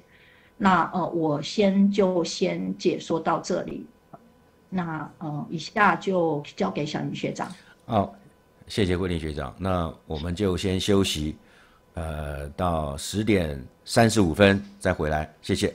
刚刚的那一部分哈，问答很踊跃。所以还有一位学长呢，想要跟我们分享，就是台林学长先跟我们分享，之后再请一家学长开始。来，台林学长。哎，各位学长，我那我想到说，刚刚那个讨论的时候有讨论说什么远近粗细啊，那我对这个演戏也没有说很很很艰深的说很很仔细的去了解，但是我想到有一件事情就是说。有一个说法，就是净土的，它叫做什么？以果地觉，呃，为发因地的心。这什么意思呢？就是说，好比说你静坐，对不对？啊，点一支香，你做的时候开始是这香的头最上顶端，可是呢，它的果地就是香最后一个，就说你静坐半个小时是半个小时以后的事情。对，这就我们讲讲说，就是一个因，一个果。可是呢，它后面又有接句话。因地用功，果地随缘。那也就是说，当我静坐以后两三分钟，任何的一秒一分的时候，都是我有起一个很因。可是因呢，就马上有个果，就因果因果这个连串就到最后我的果。所以我的意思说，说我们说我们说疏因疏果，就是指一个长时间的事情。清因清果就是刹那间，刹那间，刹那间，你只要做，凡有做事，你就必须有一个果。那这果的变化的产生到最后，你那个果，所以我只能这样讲说，亲、近、远，就是近的时候，就是很刹那之间，刹那之间，我们所做的事情，当现就引导你后面那个果。那当现的当刹那刹那那个因呢，也是因为前面那个因，也就是前面的果，所以整个来看来讲，整体来讲，时间长度的时候，就这是远了。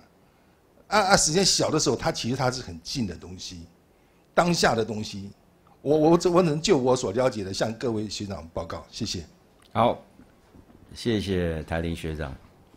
呃，好，那我觉得现在时间交给一家学长。呃，我先分享一下哈，应该先老师及各位学长，阿弥陀佛哈。阿弥陀佛。那今天仍然是由我做六门教授习定论的学习心得第二次的报告。那在进入今天正式报告前。呃，讲一下临时起意的心得。我其实，在昨天下午之前，都还决定在家里做线上分享。那到昨天下午之后，决定来教室，一个原因是来体验一下临场感哦。那这修学直观其实也是这样，就是要真实的临场，不是想象中的修学直观。只是刚刚讲到这样的一个心得。好，先简单节前一下哈。等一下会放大。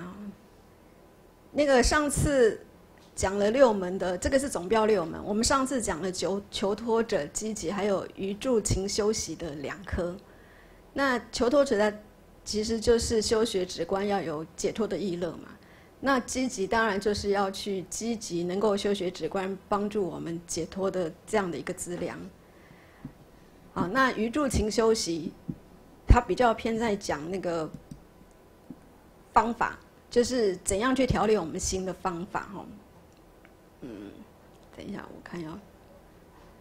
那上次一住群休息，我们讲了两颗，两颗所缘跟字体。那是好，这边可以放大。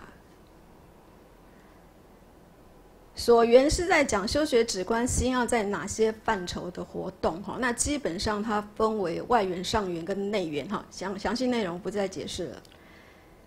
那心要就是要安住在安止在这三种所缘的活动上。那这三个所缘是我们进程的学习，好，不是说我一下子想要跳内缘或上。其实基本功那个外缘一定外缘能够安住是基本功一定要有的。好。跳太快，好，然后那个字体就是我们心安住在所缘的时候，要能够不散乱，所以字体是要让我们的心调练到那个不散乱的状态。那怎样调练到不散乱的状态？就是今天要谈的九住心。啊，现在我知道这个看起来很小哈，等一下会放大。呃，九住心也是我们在第二本禅修手册占很大的篇幅的，好，很多篇幅，因为它是基本功。然后你们现在所看到的画面哈，因为九住心刚好九个嘛，所以 用九个九宫格很好分配。你们现在看到的这些蓝色的字是六门教授习定论的，黑色的字是一切实地论的，好，然后下面。我我应该调整同样颜色，但我没有去调。这个绿色的字是四座椅，是六门教授席定论；红色的字是一切实际论的四座椅。然后颜色的区块的分配是一六门教授席定论的四座椅的区块。好，这个颜色是这样分配的。好，那基本上我们这样清楚之后，就来看，嗯。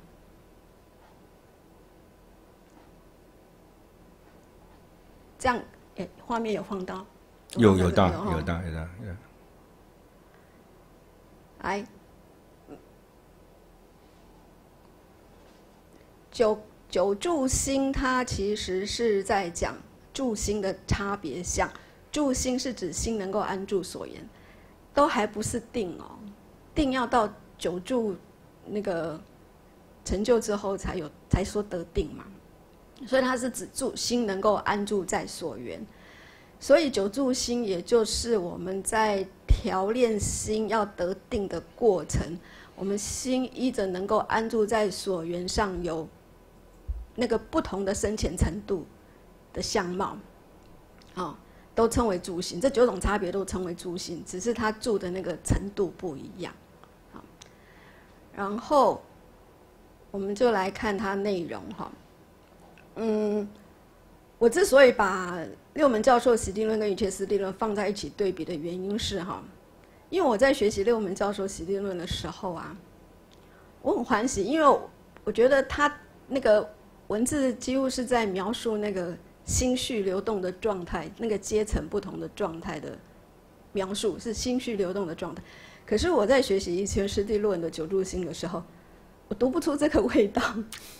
我读不出那个流动的味道，但是就觉得它是一条一条一条条列式的。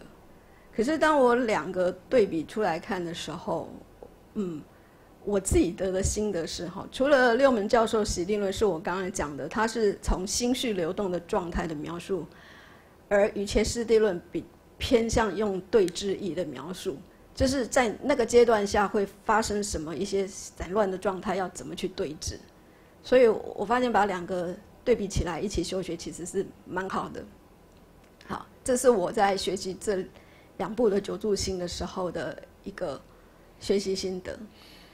好，那我们先看最初住，因为我们教习论他说最初习静，所以这是我们初修学的时候，要把心在外面乱攀缘的这个心啊，给它导入到规范在我们的所缘上，所缘是有规范的哈。那我们目前学习的是安班，所以学所缘是在安班啊。那当然所缘不是只有安班，就看你的修学是哪哪一门。好，总共十二者所知是啊，十二种那个进行所缘都是。那我目前是安班，所以是就将心导入到安班上。好，那因为是初学嘛，初学把心从外境拉到内心而住的时候，要很。勉强很坚持的去做，所以他是坚持下，我觉得这形容蛮贴切的，就要坚持的去做。啊，让心能够就放在这个所缘上。所以在作意上来讲，他说是利利呵夫作意啊，就是很勉励了、很勉强的，你都会觉得还有负担的去做。其实我们在学世间法，其实也是这样。你新学一，不论是学问啊，或者一项技能，刚开始那个心理都是这样，要很勉强、勉强的去做，勉强的去记它这样子。在座很多学员会开车，开车其实你初学的时候，你发现也是这样，尤其你要考照，都会教你。哎，看到什么打几圈，打几圈，哦，都是要很勉励的去做。好，所以这是最初注。那于全斯蒂论的描述其实都是一样的。他说，我们要把心从在外面的所缘境摄入其实，细心于内嘛。所以跟这个出席进食其心兼止意思是一样，从外境拉回来。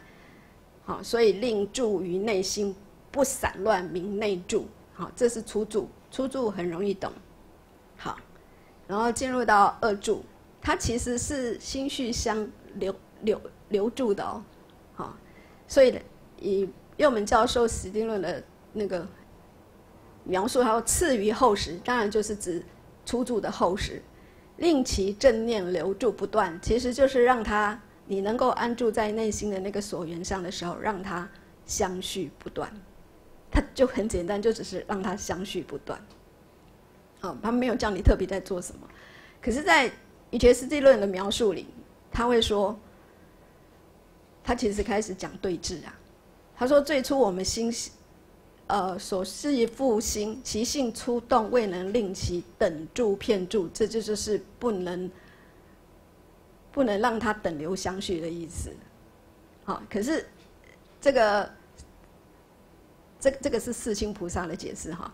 四星菩萨的说，就是令其等流相助嘛，正念留住不断。可是，也就是说，如果你你没办法这样子，因为刚刚从初住把心从外面拉回来的时候，其心都还是很粗的闪动的时候，没有办法骗住等住的时候，所以他说，四级于所缘境界。以相续方便、沉静方便，错令为系，片设令住，名等住。好，这里有两个方便：相续方便跟沉静方便。相续当然是只能够让它等流嘛，沉静方便就是让心能够安静下来的。但是这边并没有特别指哪一些是相续方便，什么是沉静方便，没有讲特特别特别指定是什么法门哈，所以。套句我爸爸常讲的话，我们小时候问他问题，他都会说自己想办法，就是自己想办。所以像像那个刚刚贤浩学长讲的，他自己在面临生活境界的时候，心是安静不下来的。那当然，我们现在在九九住心这边讲的是说上座修，可是同样的在生活境界当中一一样的意思。就是自己要找个方法让自己安静下来，可是至于是什么方法，得自己去尝试才知道。因为我适合的方法可能不见得适合你。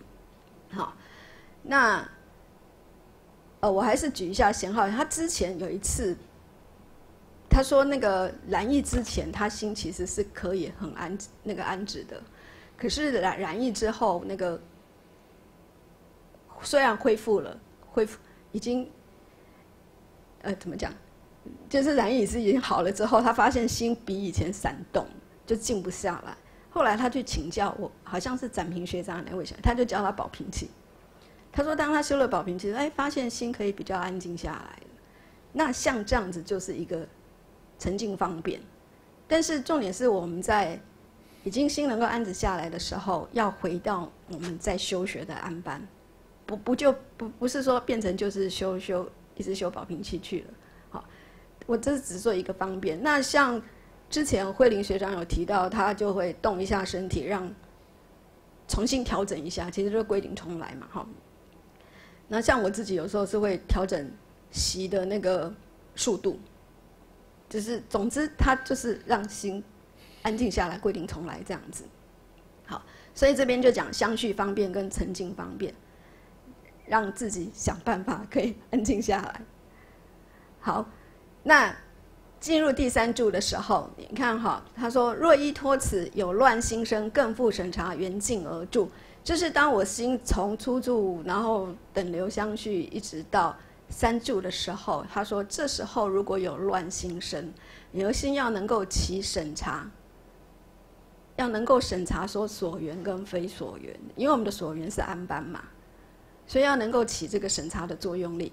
那他说有乱心生，当然你未必有乱心生，但是如果有乱心生，要能够审查，审查之后呢，一样回到你的所缘上来。所以我们都说思念了就回来，思念了就回来。好，那现在是修安般的数数，那就是从头数，从头数。好，我们再来看《瑜伽师地论》的描述。他说：“若此心虽复如是内住等住，就是可以在第一住跟第二住这样哈。然后由思念于外散乱，复还摄入安置内境，故名安住。那这描述其实也很清楚了。如果我思念就是回来嘛。好，但是。这边有一个状况，就是说，有时候我们思念了，尤其在数数，你说啊，已经数了那么多周了，就会舍不得从头来。好，所以这边就有一个关键：如果你舍不得从头来，你又舍不得这样的念心，其实你已经又跑到外外散乱去了，你心又跑掉了。那这时候其实就已经在散乱的状态。可是你如果可以审查知道非所缘，我随时就是回来的时候，你其实是在三住安住这个状态。虽然有非所缘，这样你很快审查到，你就随时就回来的时候，即使是从头数，就是从头数，没有第二念，就是知道非所缘回来，没有在第二念在那边挣扎哦。好，那这时候你的心其实是安住在这个第三住的，就是在安住。怎么说呢？因为你其实有那个复审查、复审查的这个能力，新的看能力是优于前面两柱的。可是你的复审柱，你又心生一念说啊，好可惜哦，其实就跑到那个散乱心思念去了，又多绕了一一圈的路了。所以都不要起有那个啊，很可惜要从头来，不用，就是从头来。从从头来，然后新那个看能力其实就更好，就已经在安住了。好，那这两个哈，到后面的七柱，我们看一下四座椅，都讲有肩鹤腹座椅哈。到那个这边第七柱都是有肩，是指那个会有散乱夹杂进来。那鹤腹当然就是心里心还是会做这件事情，是有一些负担的。好，你就知道你你你还要很勉力的去做这，你还要去做这件事情，就对，有那个负担。那有件事散乱会夹杂进来，所以四作意其实不难懂。等一下不会特别再去解释它了，哈。这是二柱到七柱，七柱都是有间克服作意，你就会知道二柱到七柱其实都是还是有散乱心会夹杂进来的。那重点就是我们在更复审查。的这个正念心话能不能发挥作用？好，那从三柱，当我心能够知道散乱了回来的时候的那一时，其实就是转得差别。所以这才是我刚才讲，如果你你发现有非所缘竟然起了一念啊，好可惜的时候，其实又又跑到外那个外散乱，那要从初柱开始，可是。当你发现非所缘串进来的时候，你随时回到你的所缘上的时候，这时候新的看能力其实是又更稳定了，因为你能够审查又能够回得来，新那个调度能力其实是更好的，所以其实就已经到转得差别。所以不要起那个很可惜还要从头数的这样的念想，起了就 又要绕绕一圈路。好。所以次于后时转得差别，那我们再看《瑜伽师地论》，它是怎么怎么讲的哈？彼先应知如是如是清净念住，由此念故，烁烁作意内住其心，不令此心远住于外，故名静住。其实意思一样，因为前面因为我们都烁烁在那个所缘上嘛，包括包括你思念，你知道回来啊，你的心其实一直很清净在念住在这个所缘上的。好，那说说作意，作意让他怎么内住其心，所以跟这个转的差别意思是一样的。那这样子称作为念念那个静住，它是相对于心不去盘往外面来讲，相相对于那个圆来讲，所以称称之为静住。好，这个这样也不难懂。其实从心绪的流动的状态就不难去理解这个部分。好，那到第五柱，第五柱，当我们从前面散乱啊，然后知道有乱心可以回来，新的，然后可以按住所缘，好，说说意念在这个所缘上，按住在所缘上，这样的心，你就会发现它，我还是用讲看能力越来越好，你心能够安住的那个能力越来越好，这时候欢喜心会生。各位自己可以去体会一下，好。那世亲菩萨觉是去后时对峙升起时，心得自在生欢喜时，就是这时候我们都有这样的经验：你心如果欢喜的时候，你人会比较放松；你人会比较放松的状态下，你要去处理事情，其实都比较好处理。当你处在很紧绷的时候，你是很难处理的。所以这时候。有散乱心升起来，那个对峙心就起得来。你会起得来，知道怎么去对峙，所以它称为于后时对峙升起，心得自在生欢喜。好，那我们再来看《一切世界论》，弥勒菩萨是怎么讲的？他说：“为种种相令心散乱，所谓色身香味触相及贪嗔痴男女等相，彼先应取彼诸相为过幻想，有如是想增上力故。”与彼诸相错折其心，令不流散，明调顺住。好，那个世亲菩萨讲的很简单，就是说有散乱心起，这时候对治心可以起来。那那个弥勒菩萨这边就讲的更详细，他说会有什么散乱，就是色身香味触贪嗔痴男女等相这些六根对六尘的散乱相会现起来。好，如果有这些散乱相发生的话。要怎么办？起过幻想，起过幻想，他叫我们在这时候起过幻想。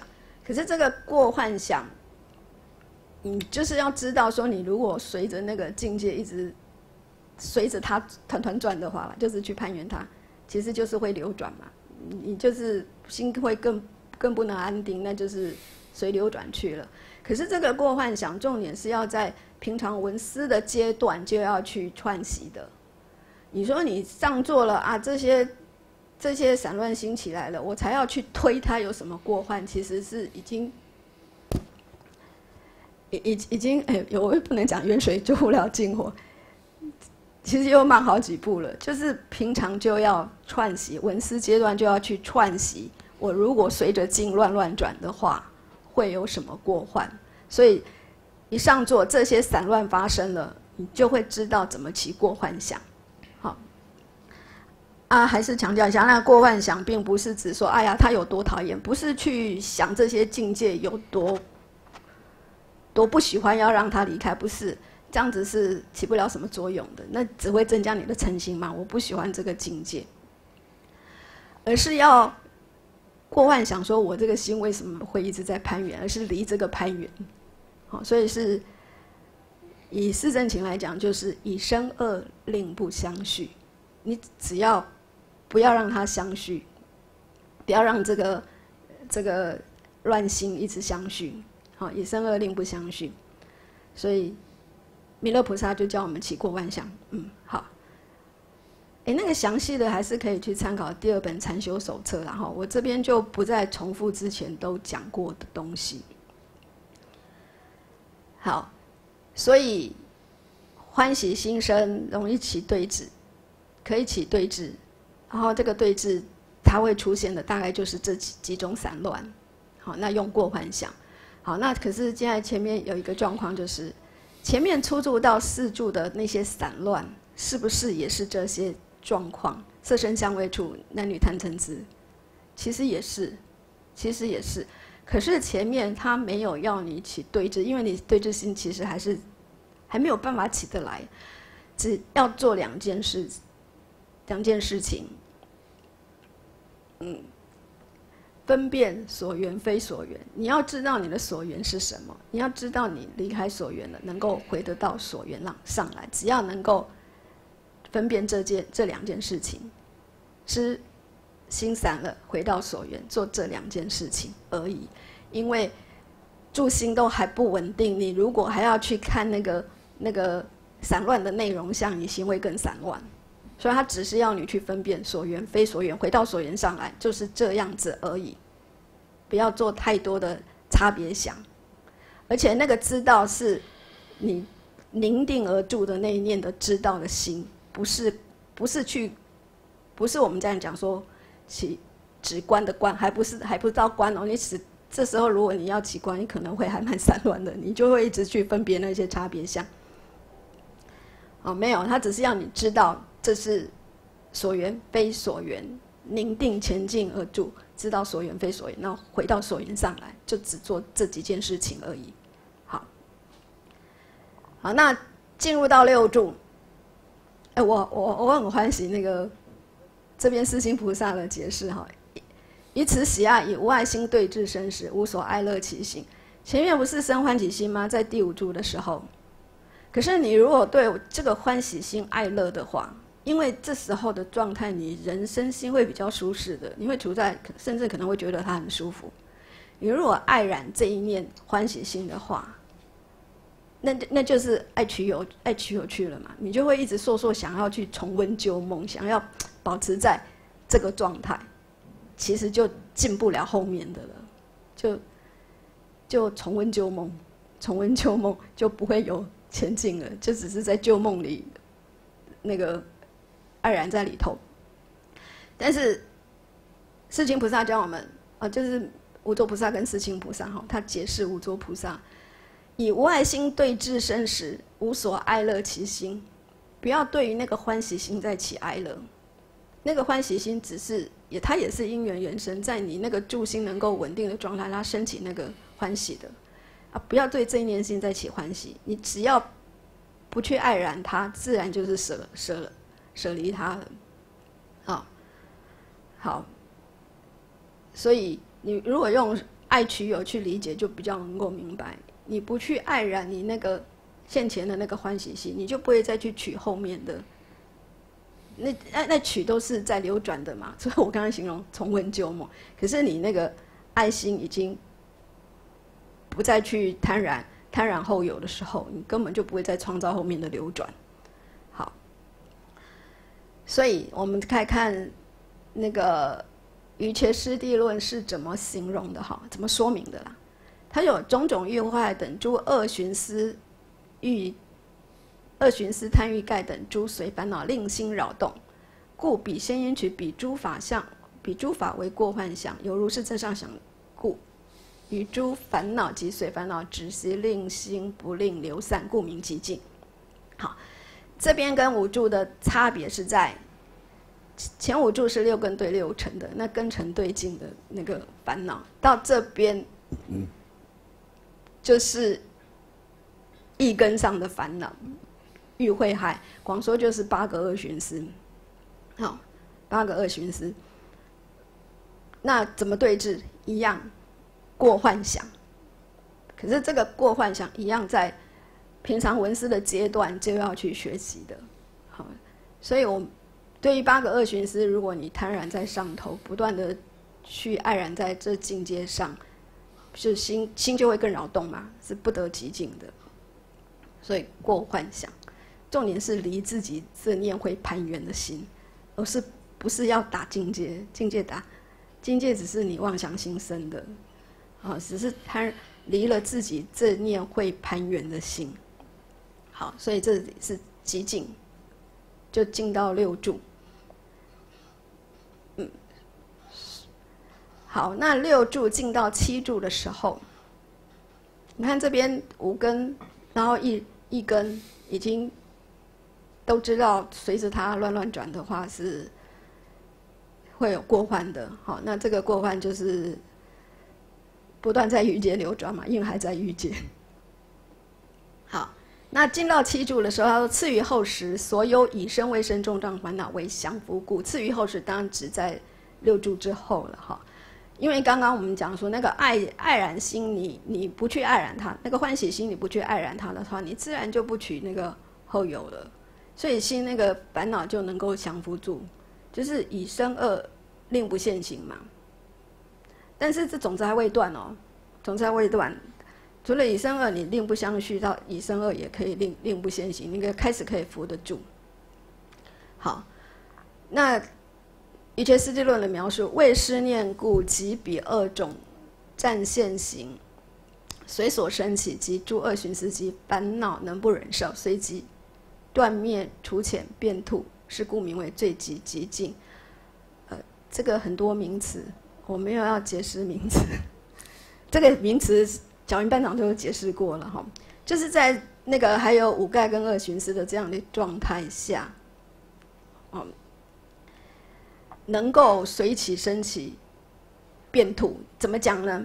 我们刚刚前面在那个极静六柱这个极静度的时候，是不是烦恼升起来，我便是他知道他有过患，所以我舍离他。可是到七柱最极极静住的时候，烦恼升起来，我随即就让它灭去。我不必说贼来了，哎，你停一下，我要看清楚你是什么贼，才让他走。没没没有。他就是起来了，随即就让他灭去；烦恼起来了，就是让他灭去。所以你会看到，从五柱到六柱、七柱，新的那个看能力其实越来越好的。前面还要透过过幻想，然后这边极静柱也是透过过幻想。但是这级极静柱，因为你在前面五柱、六柱已经把那个烦恼相都辨识清楚了，所以他一起来，你很快就知道这是他，你就随即让他灭去了。好。名最极极境，就是这样的一个新的看能力。好，所以到进入到八柱的时候，因为前面烦恼已经可以起来，就让它灭去嘛。这样子心就可以专注在一缘上。那个一缘当然指的是我们的安班所缘啊，学习安班的，所以他称作专注一趣。好，那。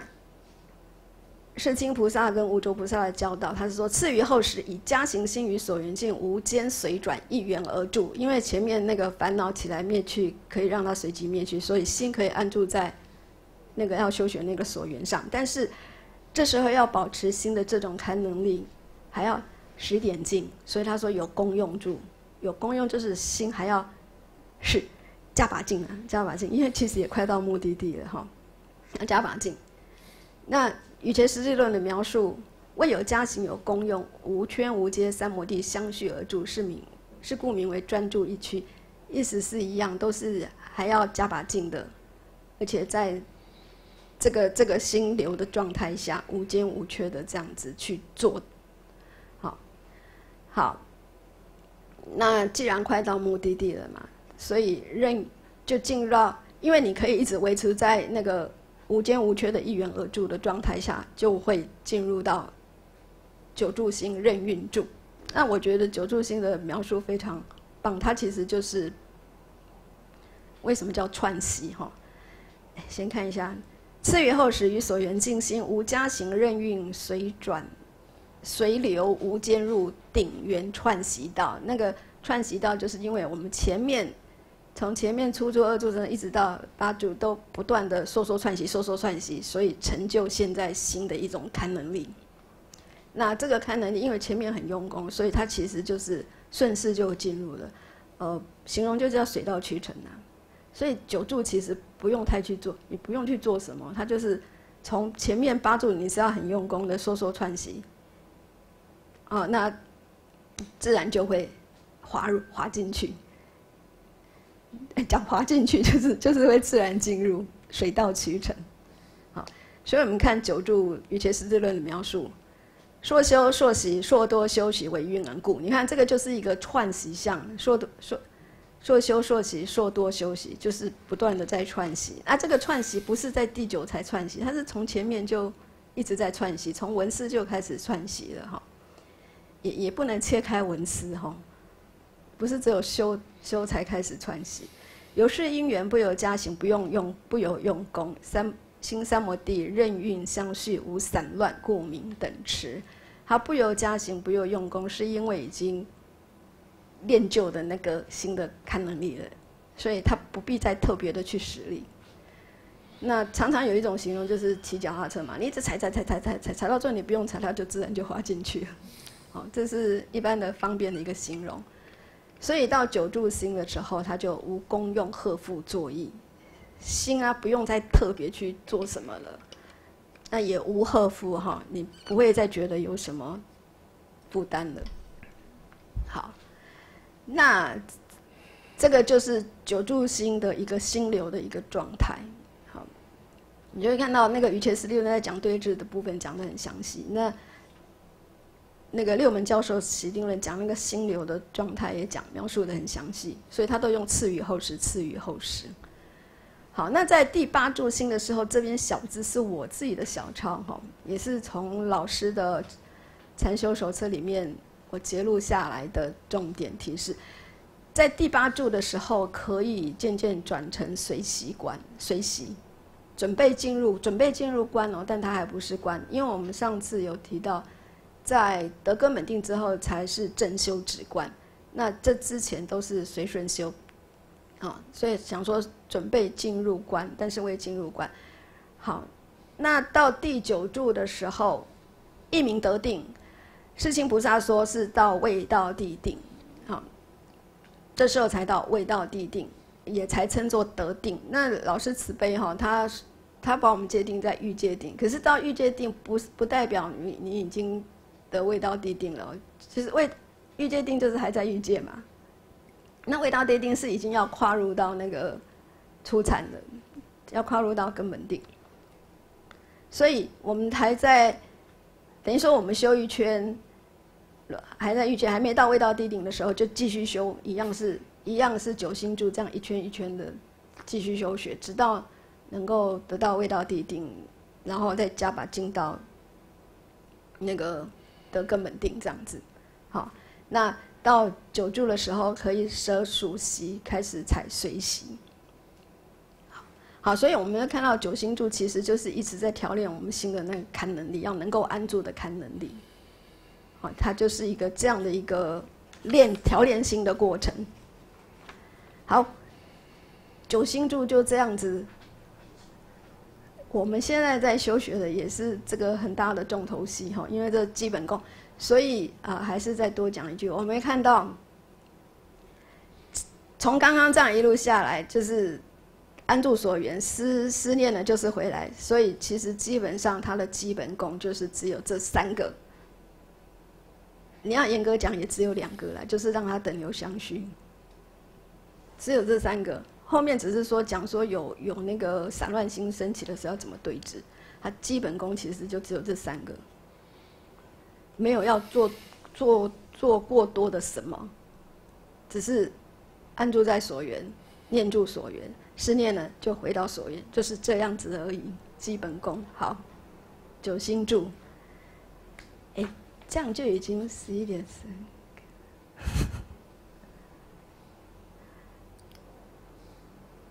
呃，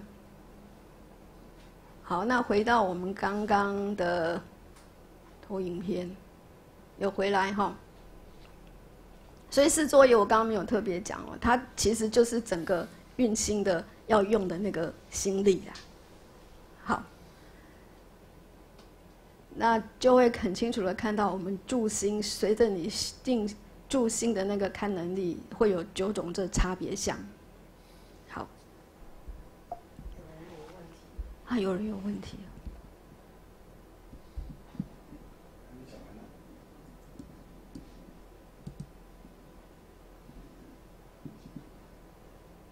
哦，到九心一静心就到未到地定，以世亲菩萨的解释是要到未到地定，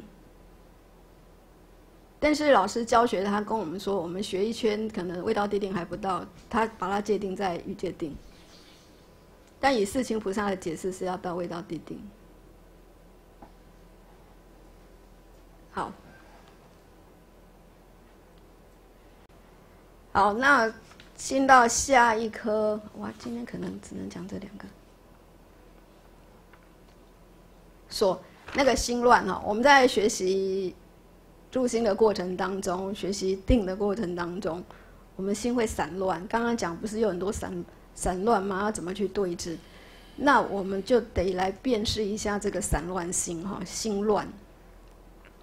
因为不同的心乱的状态有不同的对治方式。那只要心不能安住在所缘，都是心乱。不能安住在所，那为什么不能安住在所缘？就是非所缘串进来了，没有觉知到嘛，那就跟着乱乱跑，那就是心乱。其实它也很好辨识。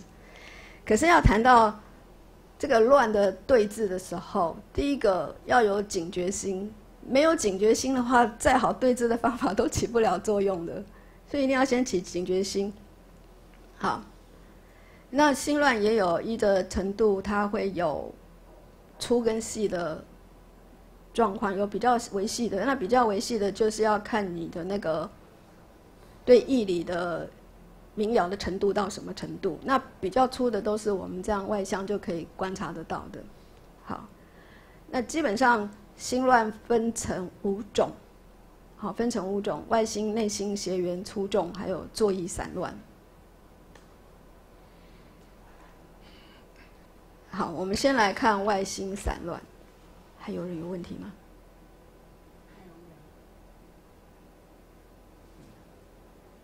啊？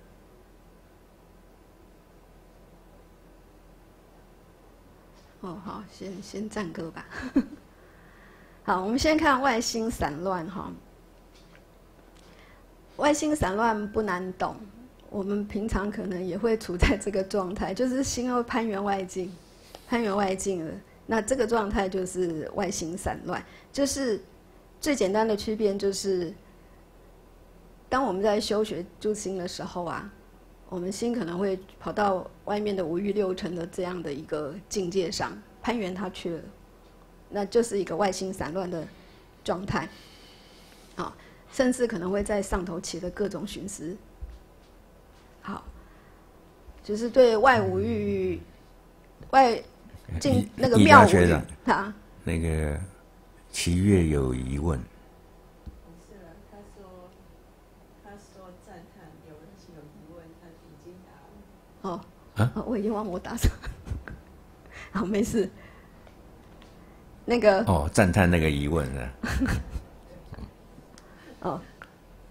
外外心散乱，就是我们心会攀援外境的妙无欲啦。哈，我们虽然在修修直观或者修住心，但是我们心就会跑到外面的那个妙无欲。哈，这很容易辨识的，这很非常容易辨识。好，那怎么对治？就是警觉了就回来啊，警觉了就回来。好，这是最基本的、最基本功的。好，那内心散乱，内心散乱指的就是调举昏沉，还有未浊。也就是，其实你可能你还是很认真的在那边修学直观，你你心也没有去攀援妙无欲，可是你就是会那个心就会出现那个调举昏沉还有未浊这三种现象哈，那就是心可能会跑到一直去推理思维自己欢喜的，就是让心很很不极静，静不下来。这个静不下来是自己不断的在推理思维，所以心静不下来。不是你心本身静不下来，是因为你一直跑到自己要去欢喜、要去推想的事情，好，甚至可能会去编八点档啊。八点档就是我不知道内地学长知不知道，他就是因为连续剧都在八点演的，所以我们都称为八点档，而且连续剧一演都好几集这样子。好，自己可能会在那边编八点档。那没有调举，也有可能产生昏沉的状况。昏沉就是心会昧略嘛。那通常这种状况是心不太易乐工作，所以数一数不太想数了，然后就，哎，不是定在那边，可能就是呆傻在那边，也没有在兑现前进，其实是都明不明了的哈。呃，就是对于我我们现在在熟悉嘛，现在不是说说不太想说，也不太想关了，就静在那边，感觉好像很寂静。但是只要对现前性不明了，它绝对就是昏沉，啊，那所以这就是一个昏沉的现象，昧略了，心会昧略，没办法起不起不起工作了啦。所以为什么要数数？其实就是要让心有工作做，好。那畏着就是我们做的过程当中，你会黯然你现在的境界，好，这个也很容易懂。那这三三种状况哈，都会让现前进不明了。我们在前面不是讲说要宁定前进吗？可是掉入掉举昏沉未着的时候，对线前进你是没办法看清楚的。当你没办法看清楚，你当然就不能了相嘛。你不能了相，你就没办法去对它起作意。所以这个状态就是一个内心散乱。好，那当然了，还是一样警觉了，重新调整一下，再归零重来。好，继续安住在自己的所缘上。好，那接下来一种邪缘散乱，你看那个把散乱心那个层次哈，分得很细。从对外境啦，还从自己内心的那个乱呐，好，那现在还有讲邪缘，什么是邪缘散乱？就是心不安住在你的所缘上嘛，简单讲就是这样。那现在所缘是安般嘛，可是心却安住在哪里？安住在广说就是八种恶寻思，广说广说八种恶寻思，哈，就是会会去想念自己的。简单讲，就是会突然间会去想念起自己的亲人啊，或者自己欢喜的人啊，啊，或者是想到你的财富啊，怎么去分配啊，啊，等等等等，或者想到说，哎，我是不是要去，就比如追求世间的某一些事情嘛，某一些欲望这样子，啊，就是心这时候跑到这些上头了，而且不断的在上头寻思、推想、寻思，啊，就是心。这样这样的一个状态就是血缘散乱。那至于这个怎么对治，刚刚前面从五住到七住都有讲过了。那个弥勒菩萨教我们就是起过幻想，起过幻想。好，那最简单的方式就是警觉到了，知道了，回到所缘上来，它就是这几本基本功而已。啊问题是我们有时候常都不知道，就随着他一直跑去了。好，所以在文思阶段一定要学会知道那过那个那些那些散乱境的相貌是怎样子，先从法义上去理解，然后到你一对境发生的时候，你就很快可以辨识的它。可是如果在文思阶段你不学学这个部分，你可能现起了，他现起了，你自己大概也不知道，就是贼来了都还不知道。啊我们常说，呃，被小偷骗了还帮小偷不被被骗了还帮忙数钱这样子，对对对，被卖了还帮忙数钞票，就类似这样子的意思。好，再来讲粗重散乱，这是一个比较嗯，你你看哦，他的那个从外境啊到内心散乱，到寻思到一些有的没有的哈，到粗重散乱。粗重散乱，简单讲，其实就是我我指我我所的干扰啦。那这个干扰，它坦白讲，它不是那么容易处理的。所以我们在老师在教学上是容许我们下周再去处理的哈。那为什么会有这种状态？这边特只说于此恶事有损益，会生安稳，名之为以身体累累。这个因为我们有具身直受的关系。我们具身会直受这个根身，具身的哦，我们会有具身直受这个根身的关系，所以身体不舒适啊，或心就会跟着乱，或者心乱了，身体也会跟着不舒适。我想这个我们应该很多人都有这种经验，啊，身体可能心乱了，身体也会跟着这样躁动。那他除了身心的不平等外，还会，我们还会觉得这是我舒服，我不舒服，甚至那个舒服解。没有一直维持在那个舒服状态，我们就会觉得哦不太舒服，或者那个不舒服的状态解除了，我们就哦我舒服了。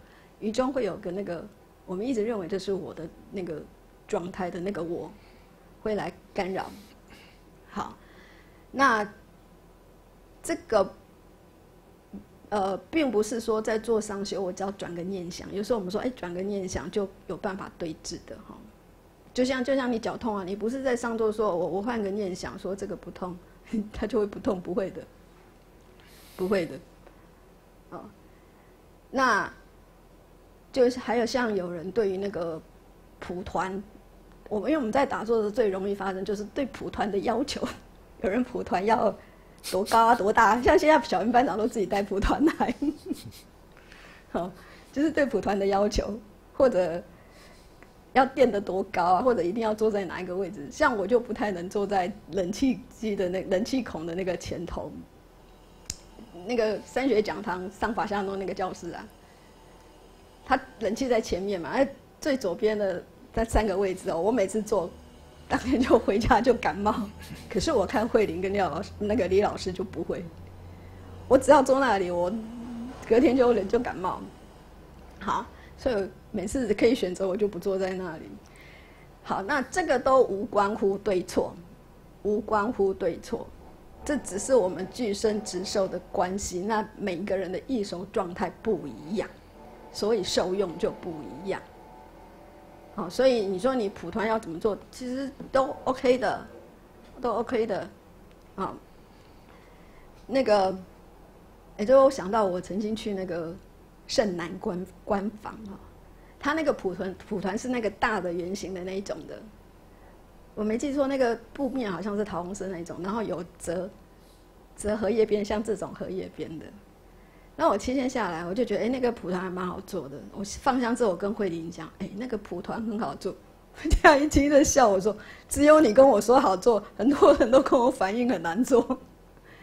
那这个都无关乎对错，也不是说那个蒲团真的好或不好，那只是我们的根深的受用都不一样，好，就是这样的意思。那这个部分可以下做处理，但很重要的其实就是在。因为太过出众，我们是安定不下来的嘛，啊，所以可以下周处理。那很许多禅师在这部分的教导其实也是不一样的，怎么对治？很多禅师的教导是不一样的，这也都无关乎对错哈。那这跟跟他们那个法脉是有关系的。然后我们现在就是依着第二本禅修手册老师的教导啦，老师的教导，那老师也是依着《瑜伽师地论》的教导的，的禅修手册的指导，我们来学习。我还标示了页码，在九十八页哈。那这部分很重要的其实是平常正见的建立，正见的建立。我们对我我所是怎么一回事？平常正见要去建立的。那因为有了正见，我们对于在现前受用境界的时候，你就会有不同的观察跟理解。会有不同的观察跟理解，好。那还有很重要的就是五门定资粮的修持。五门定资粮，这个平常就要修，那个练练习修持的上座就会比较平稳，上座就会比较平稳。好，那像我我以前身体说不太好，也没有说好不太好到多严重啊，就是鼻子。那个慢性过敏性鼻炎，鼻子是很常常是阻塞的，所以我很难关安班。那这些年来，我就很比较去调理自己的身体。现在鼻子好很多了，我现在开始可以关安班。我整个调理身体就是为了要修学安班的。虽然我那时候都才关腹部，嗯，那我想问关安班到底是怎么一回事？那现在这个呼吸就已经调顺很多了。那这个也是在平常我们定制量的修修学上哈，要自己去做这个部分。好，那我们定制量就在之前都有教过了嘛，所以就不再特别说。好，那好还有半个小时，接下来坐意散乱，你看他从那个外境啊，然后。内心啊，根深啊，然后到作意意识上的散乱，作意散乱有三种哈。这个，所以散乱基本上其实就是七种，因为他把作意散乱分成三种。第一种他说是在所缘所缘相分明而住是失察心；第二种是或从此称更趋于称；第三种是或从此定更趋于定。简单讲就是说，第一种，第一种，就是在所缘境上，过度的推求。我们我们可能以为我们要修观哦，那就会过度的一直去分析，一直去分析。呃，这样就会造成散乱。其实为什么？因为哈，我我昨天还一直在犹豫，我要不要讲后面我要讲的话，还还是讲一下好了。我们所谓的师则哈，在都还是贴在五蕴上的师则。所以贴在五蕴上的师则，就是说，我们现在以安班为例嘛，我们修安班，我们心所缘是在安班上，我的师则力是跟着这个安班起师则的。不是不是离开这个安班，另外一个想。你如果尝试着去看看，但你你你是在你的安班跟着他，其实也就是在说说水念的一个状态，在起那个思则的时候，是不太可能会进入到过度的推求分析的。但是如果你离在这个安班的思则上，一直在。对这个现象起过度推求的分析的时候，你会发现你其实已经跑到独头想了。这个可能因为之前不知道的时候，不知道那个已经跑到独头想，现在知道你可以试着去观察看看，那个就会造成很多散乱，就会造成散乱。好，所以我们的思则跟观察都是贴在五蕴的所缘上头的。啊，它不是另外起一个独头想的那个部分。当然，我们下座在学习，有时候难免会这样去推推推推推，但要知道那个离思则力其实还有一段距离。好，啊，所以为什么会所缘分明而注是失察性会造成散乱？哈，就是过度了，过度了。过也不及都不行，哎，不及你都不施责的话，就容易昧略。好，第二个从此称更趋于称哈，嗯，简单讲就是说会随着自己的意乐去变换所缘，随自己，我现在不喜欢熟悉，所以我就不熟悉了。我想要去换成这个所缘，我就换成这个所缘。是随自己的意乐哦去换所缘的，而不是随着修学的进程的必要而换所缘。因为在修学止观，所缘不是不能换，就像我们从外缘到上缘到内缘，所缘不是不能换，但是会换所缘是随着修学的进程的必要性而换。而不不是随着自己的欢喜意乐而去换，有这样的一个区别的。那如果只是一直随着自己的欢喜而去换的话，那个就是会从这边讲的尺寸更趋于称哈。好，这是这样比较容易明白。所以，我我我在，我还是觉得就是老实修行。我现在都想。从那个蹲马步的开始，好好重新蹲马步这样子。好，嗯，第三个，从此定更趋于定，这个就是那个我们在讲到上元的那个，呃，其实不一定上元呐，就是你其实你要从外缘进到上元，从上元进到内缘。都是一地一地圣境嘛，尤其在上元的阶段是更容易明白，就一地一地的圣境。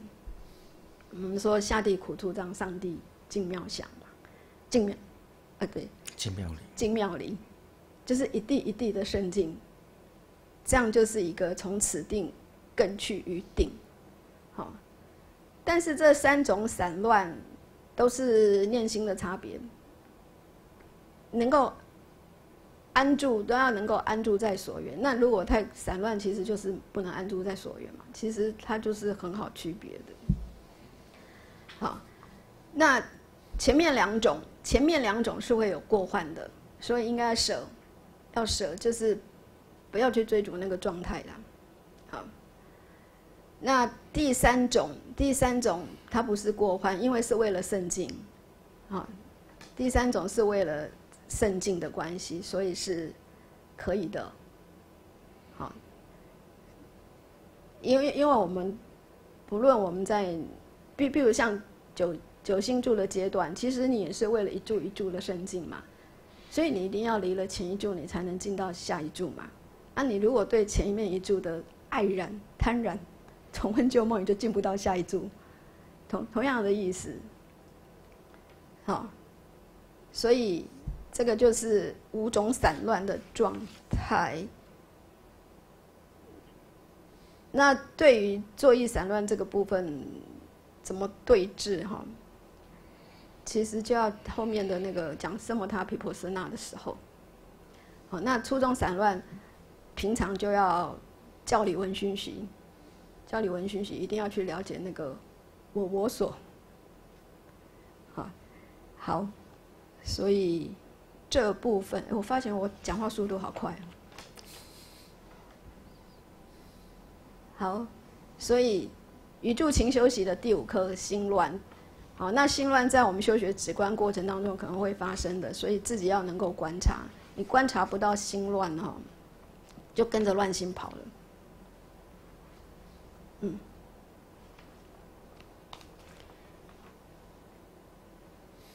好，宇宙勤休息的第六颗助资粮，这边就跟我们之前学习的五门定资粮，就是我们之前学习的五门定资粮，所以不会细讲内容，啊，嗯。从那个前面五科哈，就是六门的前面五门，从所缘到心乱哈，他在讲那个直观境上的修学，是偏坐上修在讲的。那助资粮这会牵涉到我们下座后的日常生活要修学的，因为我们在日常生活的修学，如果持守的好的话，上座自然就会安稳。那我们平常日常生活中，如果散散乱乱的，你说才求上座要去安稳哦，其实是非常困难的。好，所以这个五门定资粮平常的修学是很重要的。那这就是我们之前学过的，以戒清净为上首。所以你看，那个无斗菩萨跟世亲菩萨都这么说的。要住戒戒清净嘛，住戒才是资粮住处。然后戒是无边功德所依止处，所以我们一定要让自己去持守，哎，持守戒。如果也许还没有学戒法，有机缘的可以慢慢的去，可以去学习这个部分哈。所以那个在第二门不是有讲积极嘛？积极不是讲说要去修集那个可以让自己那个让自己学习修学止观趋向解脱的那个资粮嘛？那这边就明讲了，最好的资粮就是持戒，最好的资粮。好，那戒如何清净？哈，要做到戒清净，就要去做做这四件事情。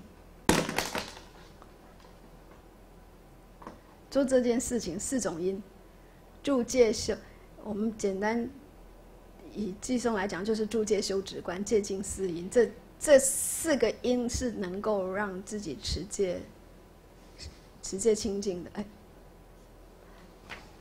对不起哈，我又按错滑鼠了。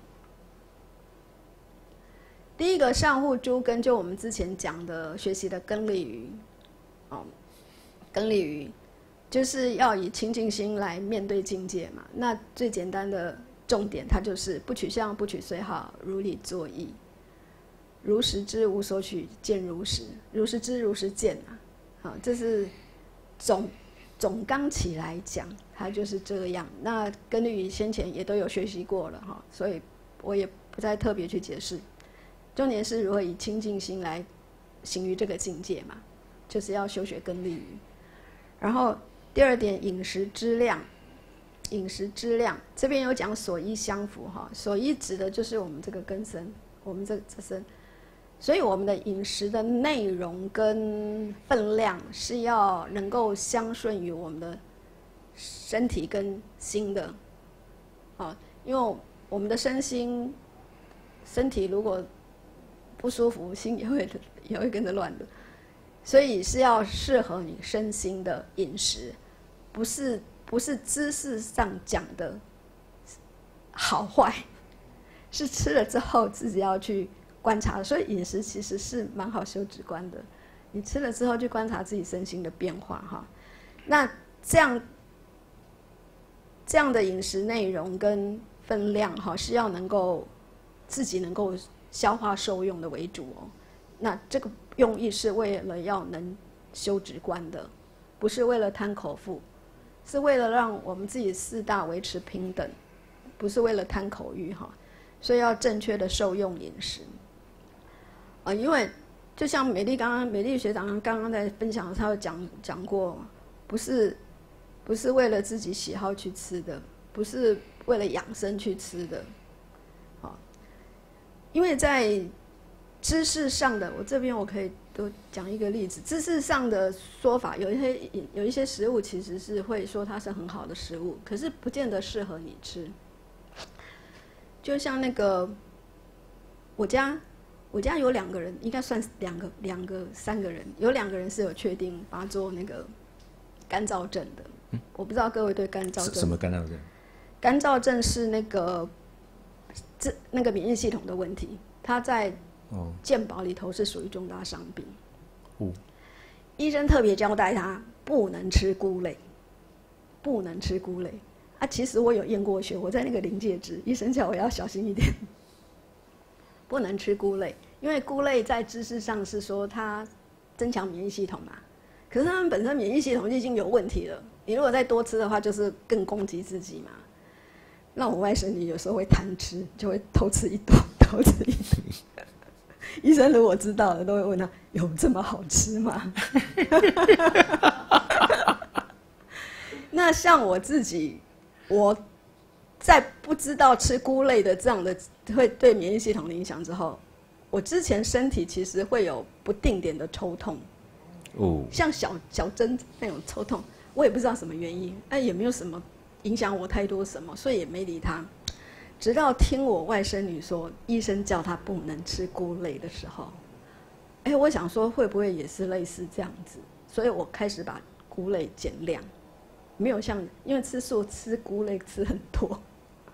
就没有吃那么多菇了，然后我那个疼痛的症状就几乎不再升起了，哦，没有那个疼痛症状。所以饮食其实是吃了之后自己要观察的。那当那个疼痛状况解除的时候，我在修学上其实是比较得力的，哦，不会老是觉得哎那这边痛一下那边痛一下，也不知道原因。好，所以重点是要让身心能够。安稳相扶盛是为了四大平等，是为了要能够修学直观，啊，为了能够学法的，好，不然四大不平等就会把自己心搞得很纷扰，光每天都在搞这个身体就搞不完。好，那第三颗初夜后夜能自觉、自警觉与定相应，这个就是指觉悟于前，啊。那，简单总则来讲，它就是在讲白天跟黑夜、醒跟睡之间的修行事情。就是只要我们意识还有活动的状态下，都要能够保持正思维的觉知、精勤的修学。啊，那详细这这接近四音哈，详细的就去参考那个那个第第一本禅修手册。好。第四个政治而主，就是在思维思维仪式上，哈，也要善用其心呐。什么事当做不当做，哈，都要正念而住。其实，因为我们心如果散乱，其实会表现在日常生活的行住坐卧上的，是会表现出来的。可能我我们自己平常在懒散惯了，可能自己都也不会不太会去留意到。好，那。在这个部分上也要善用其心，因为身心安稳了哈，心就安定嘛。那尤其如果又能够住戒的话，心安定过失的事就不容易犯，那不容易犯就能够除诸过，所以不要小看我们平常的这个微仪式哈。那练习要从这里这种小事开始练，真的要从这种小事练习正念正知。那我昨天又重复在那个准备说，哎，我要讲哪些？我突然间想到一件事情，就是我刚来学了，记得是第二年嘛，那跟学长还有老师一起去受菩萨戒。那那一次的受戒，他那个用斋的时候是一大锅，那自己舀了，然后就找个地方坐下来吃。我印象中很很清，记忆很深刻。我就在吃的时候吃一吃，那平常微仪式是不太留意，以前会翘脚，你知道吗？还有一个翘卡，我知道，就是脚两只脚会交叠，不不是从脚踝的交叠，而是大腿那边的交叠，就翘着脚坐。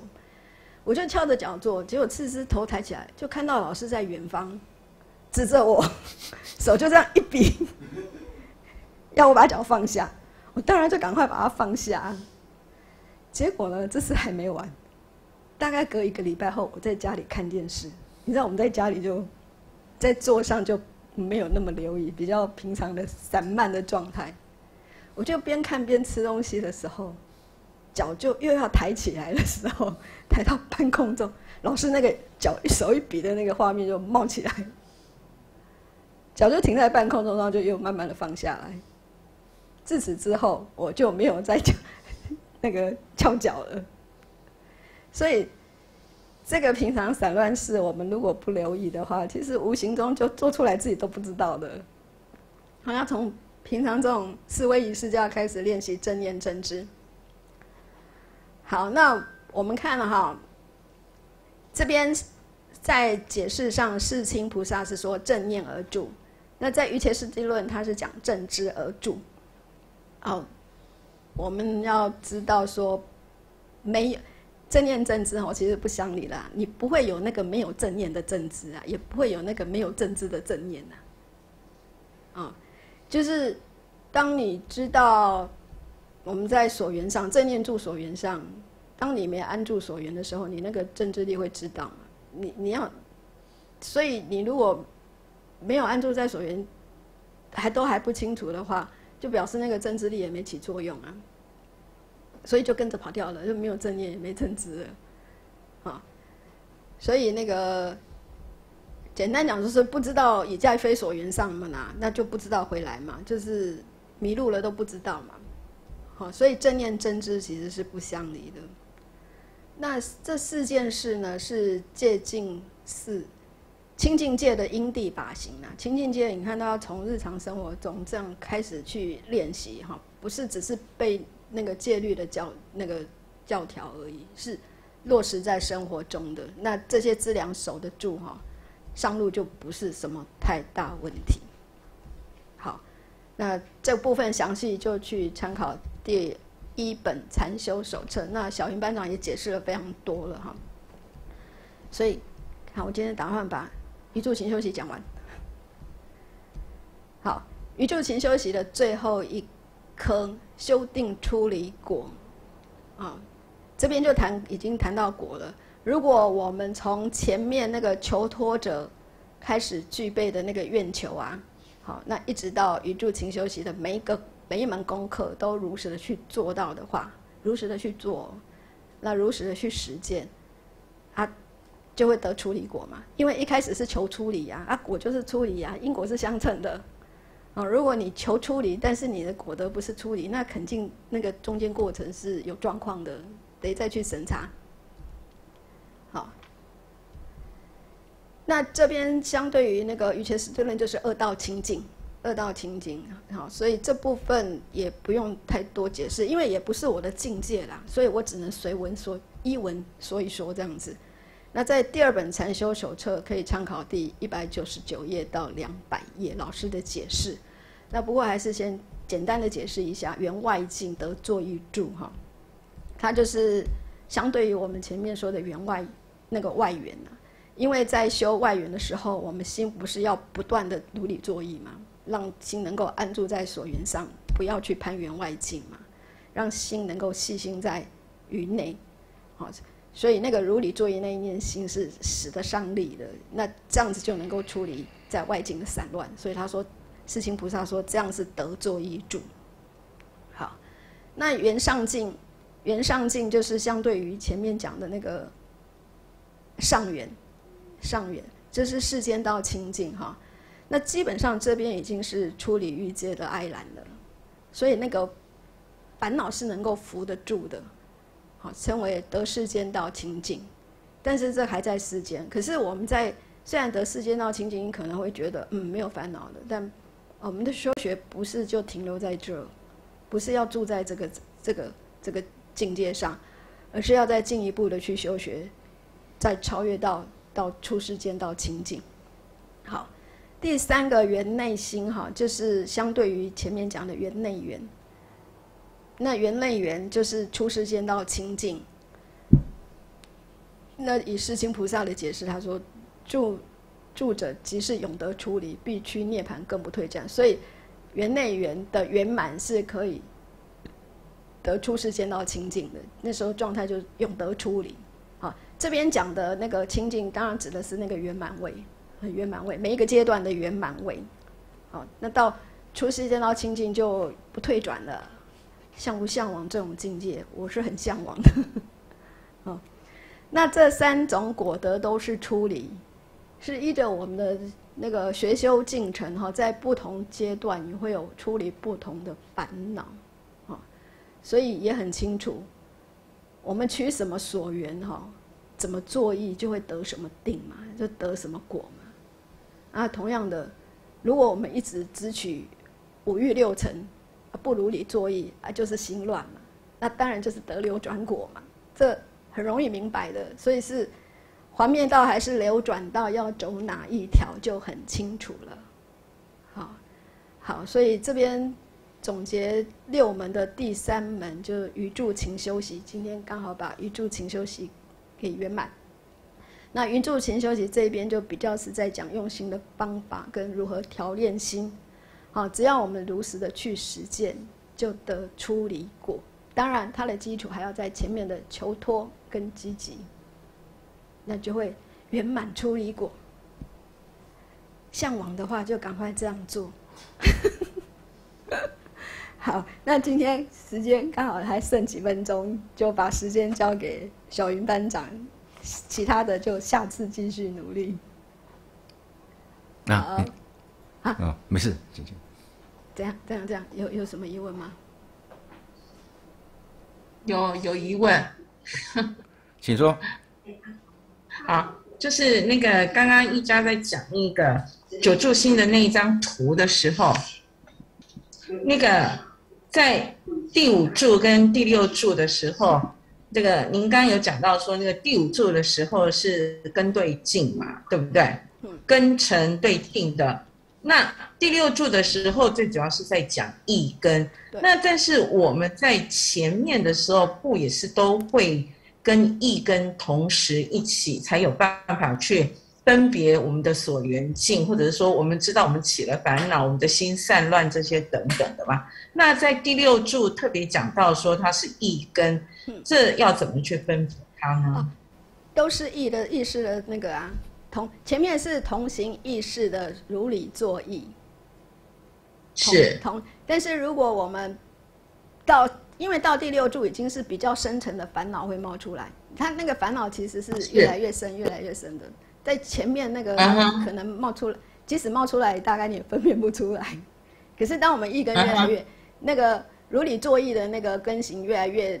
越明了的时候，就可以分辨得出来，那个部分，因为是也有我我们过去累积下来的熏习原生起来的，但是我们熏习原生，如果你又去攀援它的话，那就跟着流转嘛，继续流转，所以那个那一念心就是那个如理作意的心在辨别的，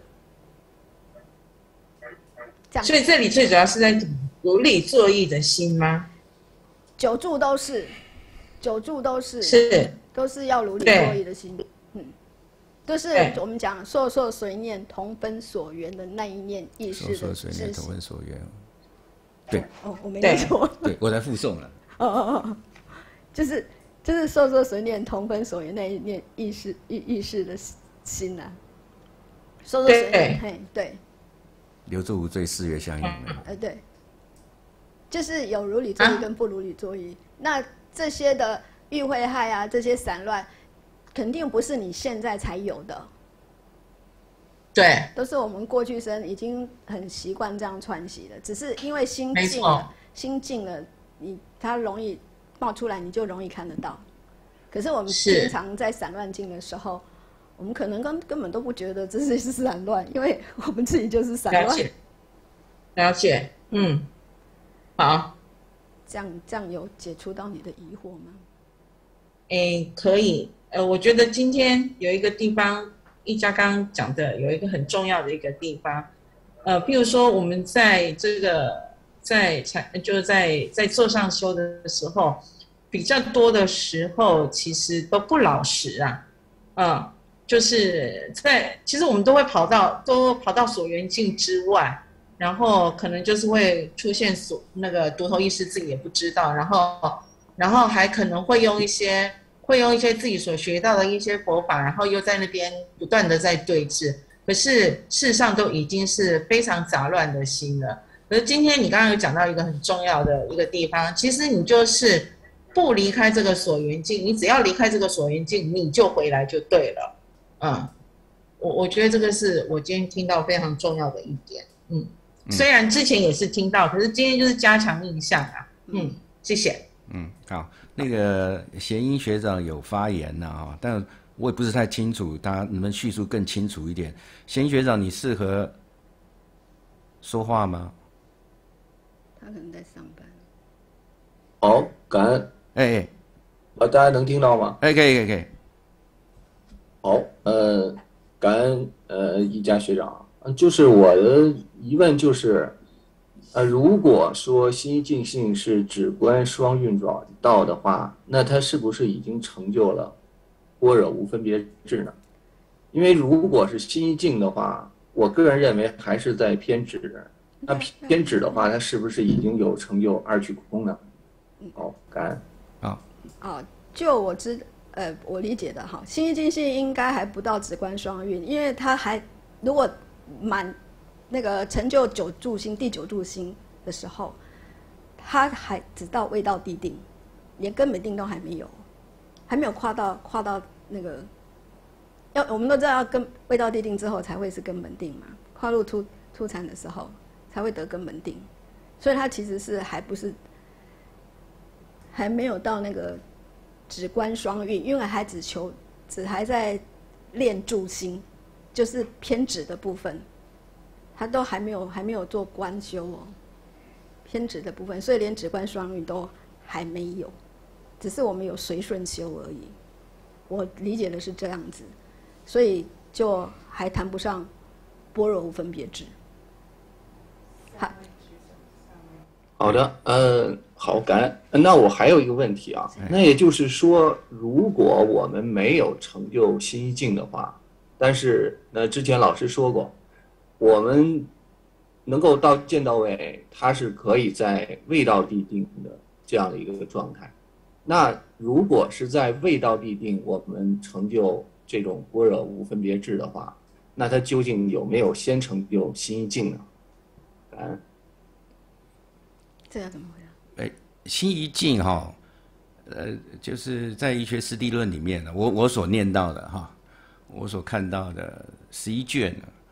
它是心一那个是残肢的一个一一个残肢嘛，一个有五个残肢，心一境性是其中一个。那其中他有写的，的确是如您所讲了，心一境是比较偏执了。他下面后来他叙述还有四个字叫审正观察，审慎观察是比较偏观。所以在在这个部分呢，在呃我们在修修守成地的时候啊，我们是在谈虽然是修定。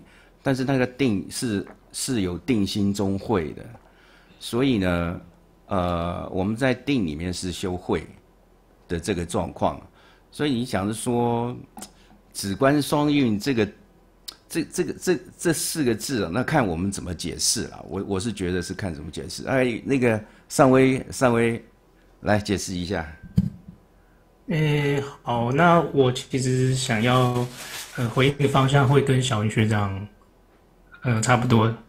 基本上就是心一尽性，呃，在欲界定就有，但是呢，它还不到舍界定，那差在哪里？初禅就是有五禅之嘛，有寻四喜乐心一尽性，那很重要，就是喜跟乐是来自于那个缘那个上上境嘛，就是如果我们心渐渐离开了那个烦恼，可以正覆盖，那会慢慢的会有清安乐出来，那这是很重要的指标。然后在还没有达到那个清安乐那个之前呢，我们那个观都不是叫真的观，所以这个在声闻地有很强调这一点，就是说我们成就心定性之后呢，还要呃继续的让自己心可以降服烦恼，接近住。然后有一个指标就是要清安乐，然后离开了系缚，降服了五盖，那要有这种程度，基本上我们的观才会真的有力量，才有可能服到烦恼，才有办法去谈见到。对，所以现在的话，我们的顺序是说，先成就心一净性，先成就正念，这个时候你再去检验自己是不是有这些对应的境界。好，那我们就十二点了，我们下次再找时间再来讨论。我觉得这个这个讨论蛮蛮蛮蛮正面。只观双运在有一那一门会说。好，OK，下下一次会讲嘛，对嗯，对。哎，好，那就课后仪轨。大众请合掌，请一起随念普贤警钟记及普贤行愿品回向记。四日已过，命亦随减，如少水鱼，斯有何乐？当勤精进，如旧头然。但念无常，慎勿放逸。文殊师利勇猛智，普贤慧行亦复然。我今回向诸善根，随彼一切常修学，三世诸佛所称叹。如是最胜诸大愿，我今回向诸善根，为得普贤殊胜行。阿弥陀佛，谢谢。